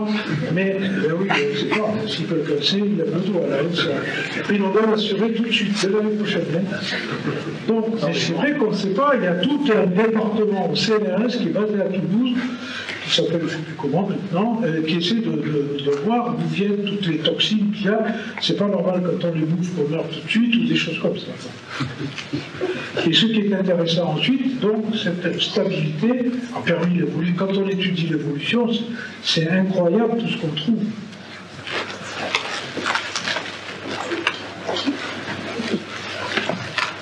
On vous a un fossile de trilobite, 300 millions. Ah, il y a une question devant. Euh, c'était à propos des grandes extinctions. Euh, donc, vous expliquer que quand on croisait euh, justement les zones où il y avait plus d'étoiles, si j'ai bien compris, il y avait des grandes catastrophes. Alors, est-ce que c'est justement les météorites ou d'où Pourquoi il ça coïncide euh, justement aux grandes phases d'extinction? On a constaté que euh, chaque fois qu'on a vu des météorites, il y avait des extinctions euh, d'espèces. C'était très net. Le slide, vous pouvez le repasser. Euh, c'est à peu près tous les, tous les 100 millions d'années, donc on est un peu tranquille. Hein, quoique la dernière a eu lieu il y a 65 millions d'années. Hein. A encore une marge de 30 millions à peu près, mais il faut faire gaffe. hein. C'est lié, au mouvement sinusoïdal du, du Soleil. Alors, exactement, ça aussi. Oui, oui. Ça, c'est une découverte récente. À chaque fois qu'on est passé par le, le plan galactique, Il y a plus d'objets. il y a plus, il y a eu plus de collisions et plus de destruction de, de végétation, d'animaux, etc.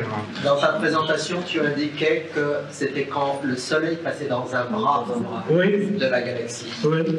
Et en fait, c'est important de savoir que euh, un bras de galaxie, c'est une onde de densité. Oui. Donc les- le Soleil ne reste pas dans un bras, en fait. C'est-à-dire que il faut 250 millions d'années, en fait, notre système solaire pour faire le tour de la galaxie, mais il ne reste pas dans le bras tout le temps, en fait. Donc en fait, il passe dans un bras, en ce moment il est dans un bras, et il va en sortir. Et je pense qu'en fait, les extinctions, ils ont remarqué, c'est quand on arrive dans oui. un bras, Quand il rentre, il sort. Voilà, c'est ça. C'est exactement ça. c'est ça, en fait. C'est ça. Et ça, c'est des découvertes récentes. Hein. Ça date de, il y a- il y a- quand on regarde les articles, on s'aperçoit que c'est des années 80. Il y en a beaucoup des années 2000. On a découvert beaucoup de choses euh, récemment parce qu'avant, on s'intéressait. Le, le fait qu'en 95, euh, Michel Maillard a, ouvert une, grande des portes, les gens ont commencé à s'intéresser à ces choses-là. Avant, se foutait, hein, c'est comme, c'est comme de tout. hein. La relativité, on a commencé à s'y intéresser dans les années 60 aussi. hein. Donc je vous amener un trilobite, une météorite. Alors ça c'est très important, c'est très lourd. hein. Ça, ça, essayez de ne pas me le piquer, ça ne pouvez pas, c'est trop lourd. C'est pas un sandwich. Voilà comment se trouve un fossile dans la nature. C'est comme ça. J'ai acheté ça au Brésil, il y a un gars qui est arrivé avec une espèce de marteau, m'a dit il y avait plus, je sais pas, il m'a sorti le machin comme ça. Alors ça, c'est un poisson, hein, j'ai euh, le- les deux faces, qui était au Sahara. Et on l'a retrouvé dans des alluvions de l'Amazone. Autrement dit, les, les, vous voyez, tous les, mouvements des, des- des- des continents, on les a retrouvés en suivant les, les traces de fossiles. Parce qu'on peut se dire, mais c'était qui, les témoins, on fait comment, comment ils ont vu ça, on l'a retrouvé comme ça. Bon, eh ben, c'est terminé.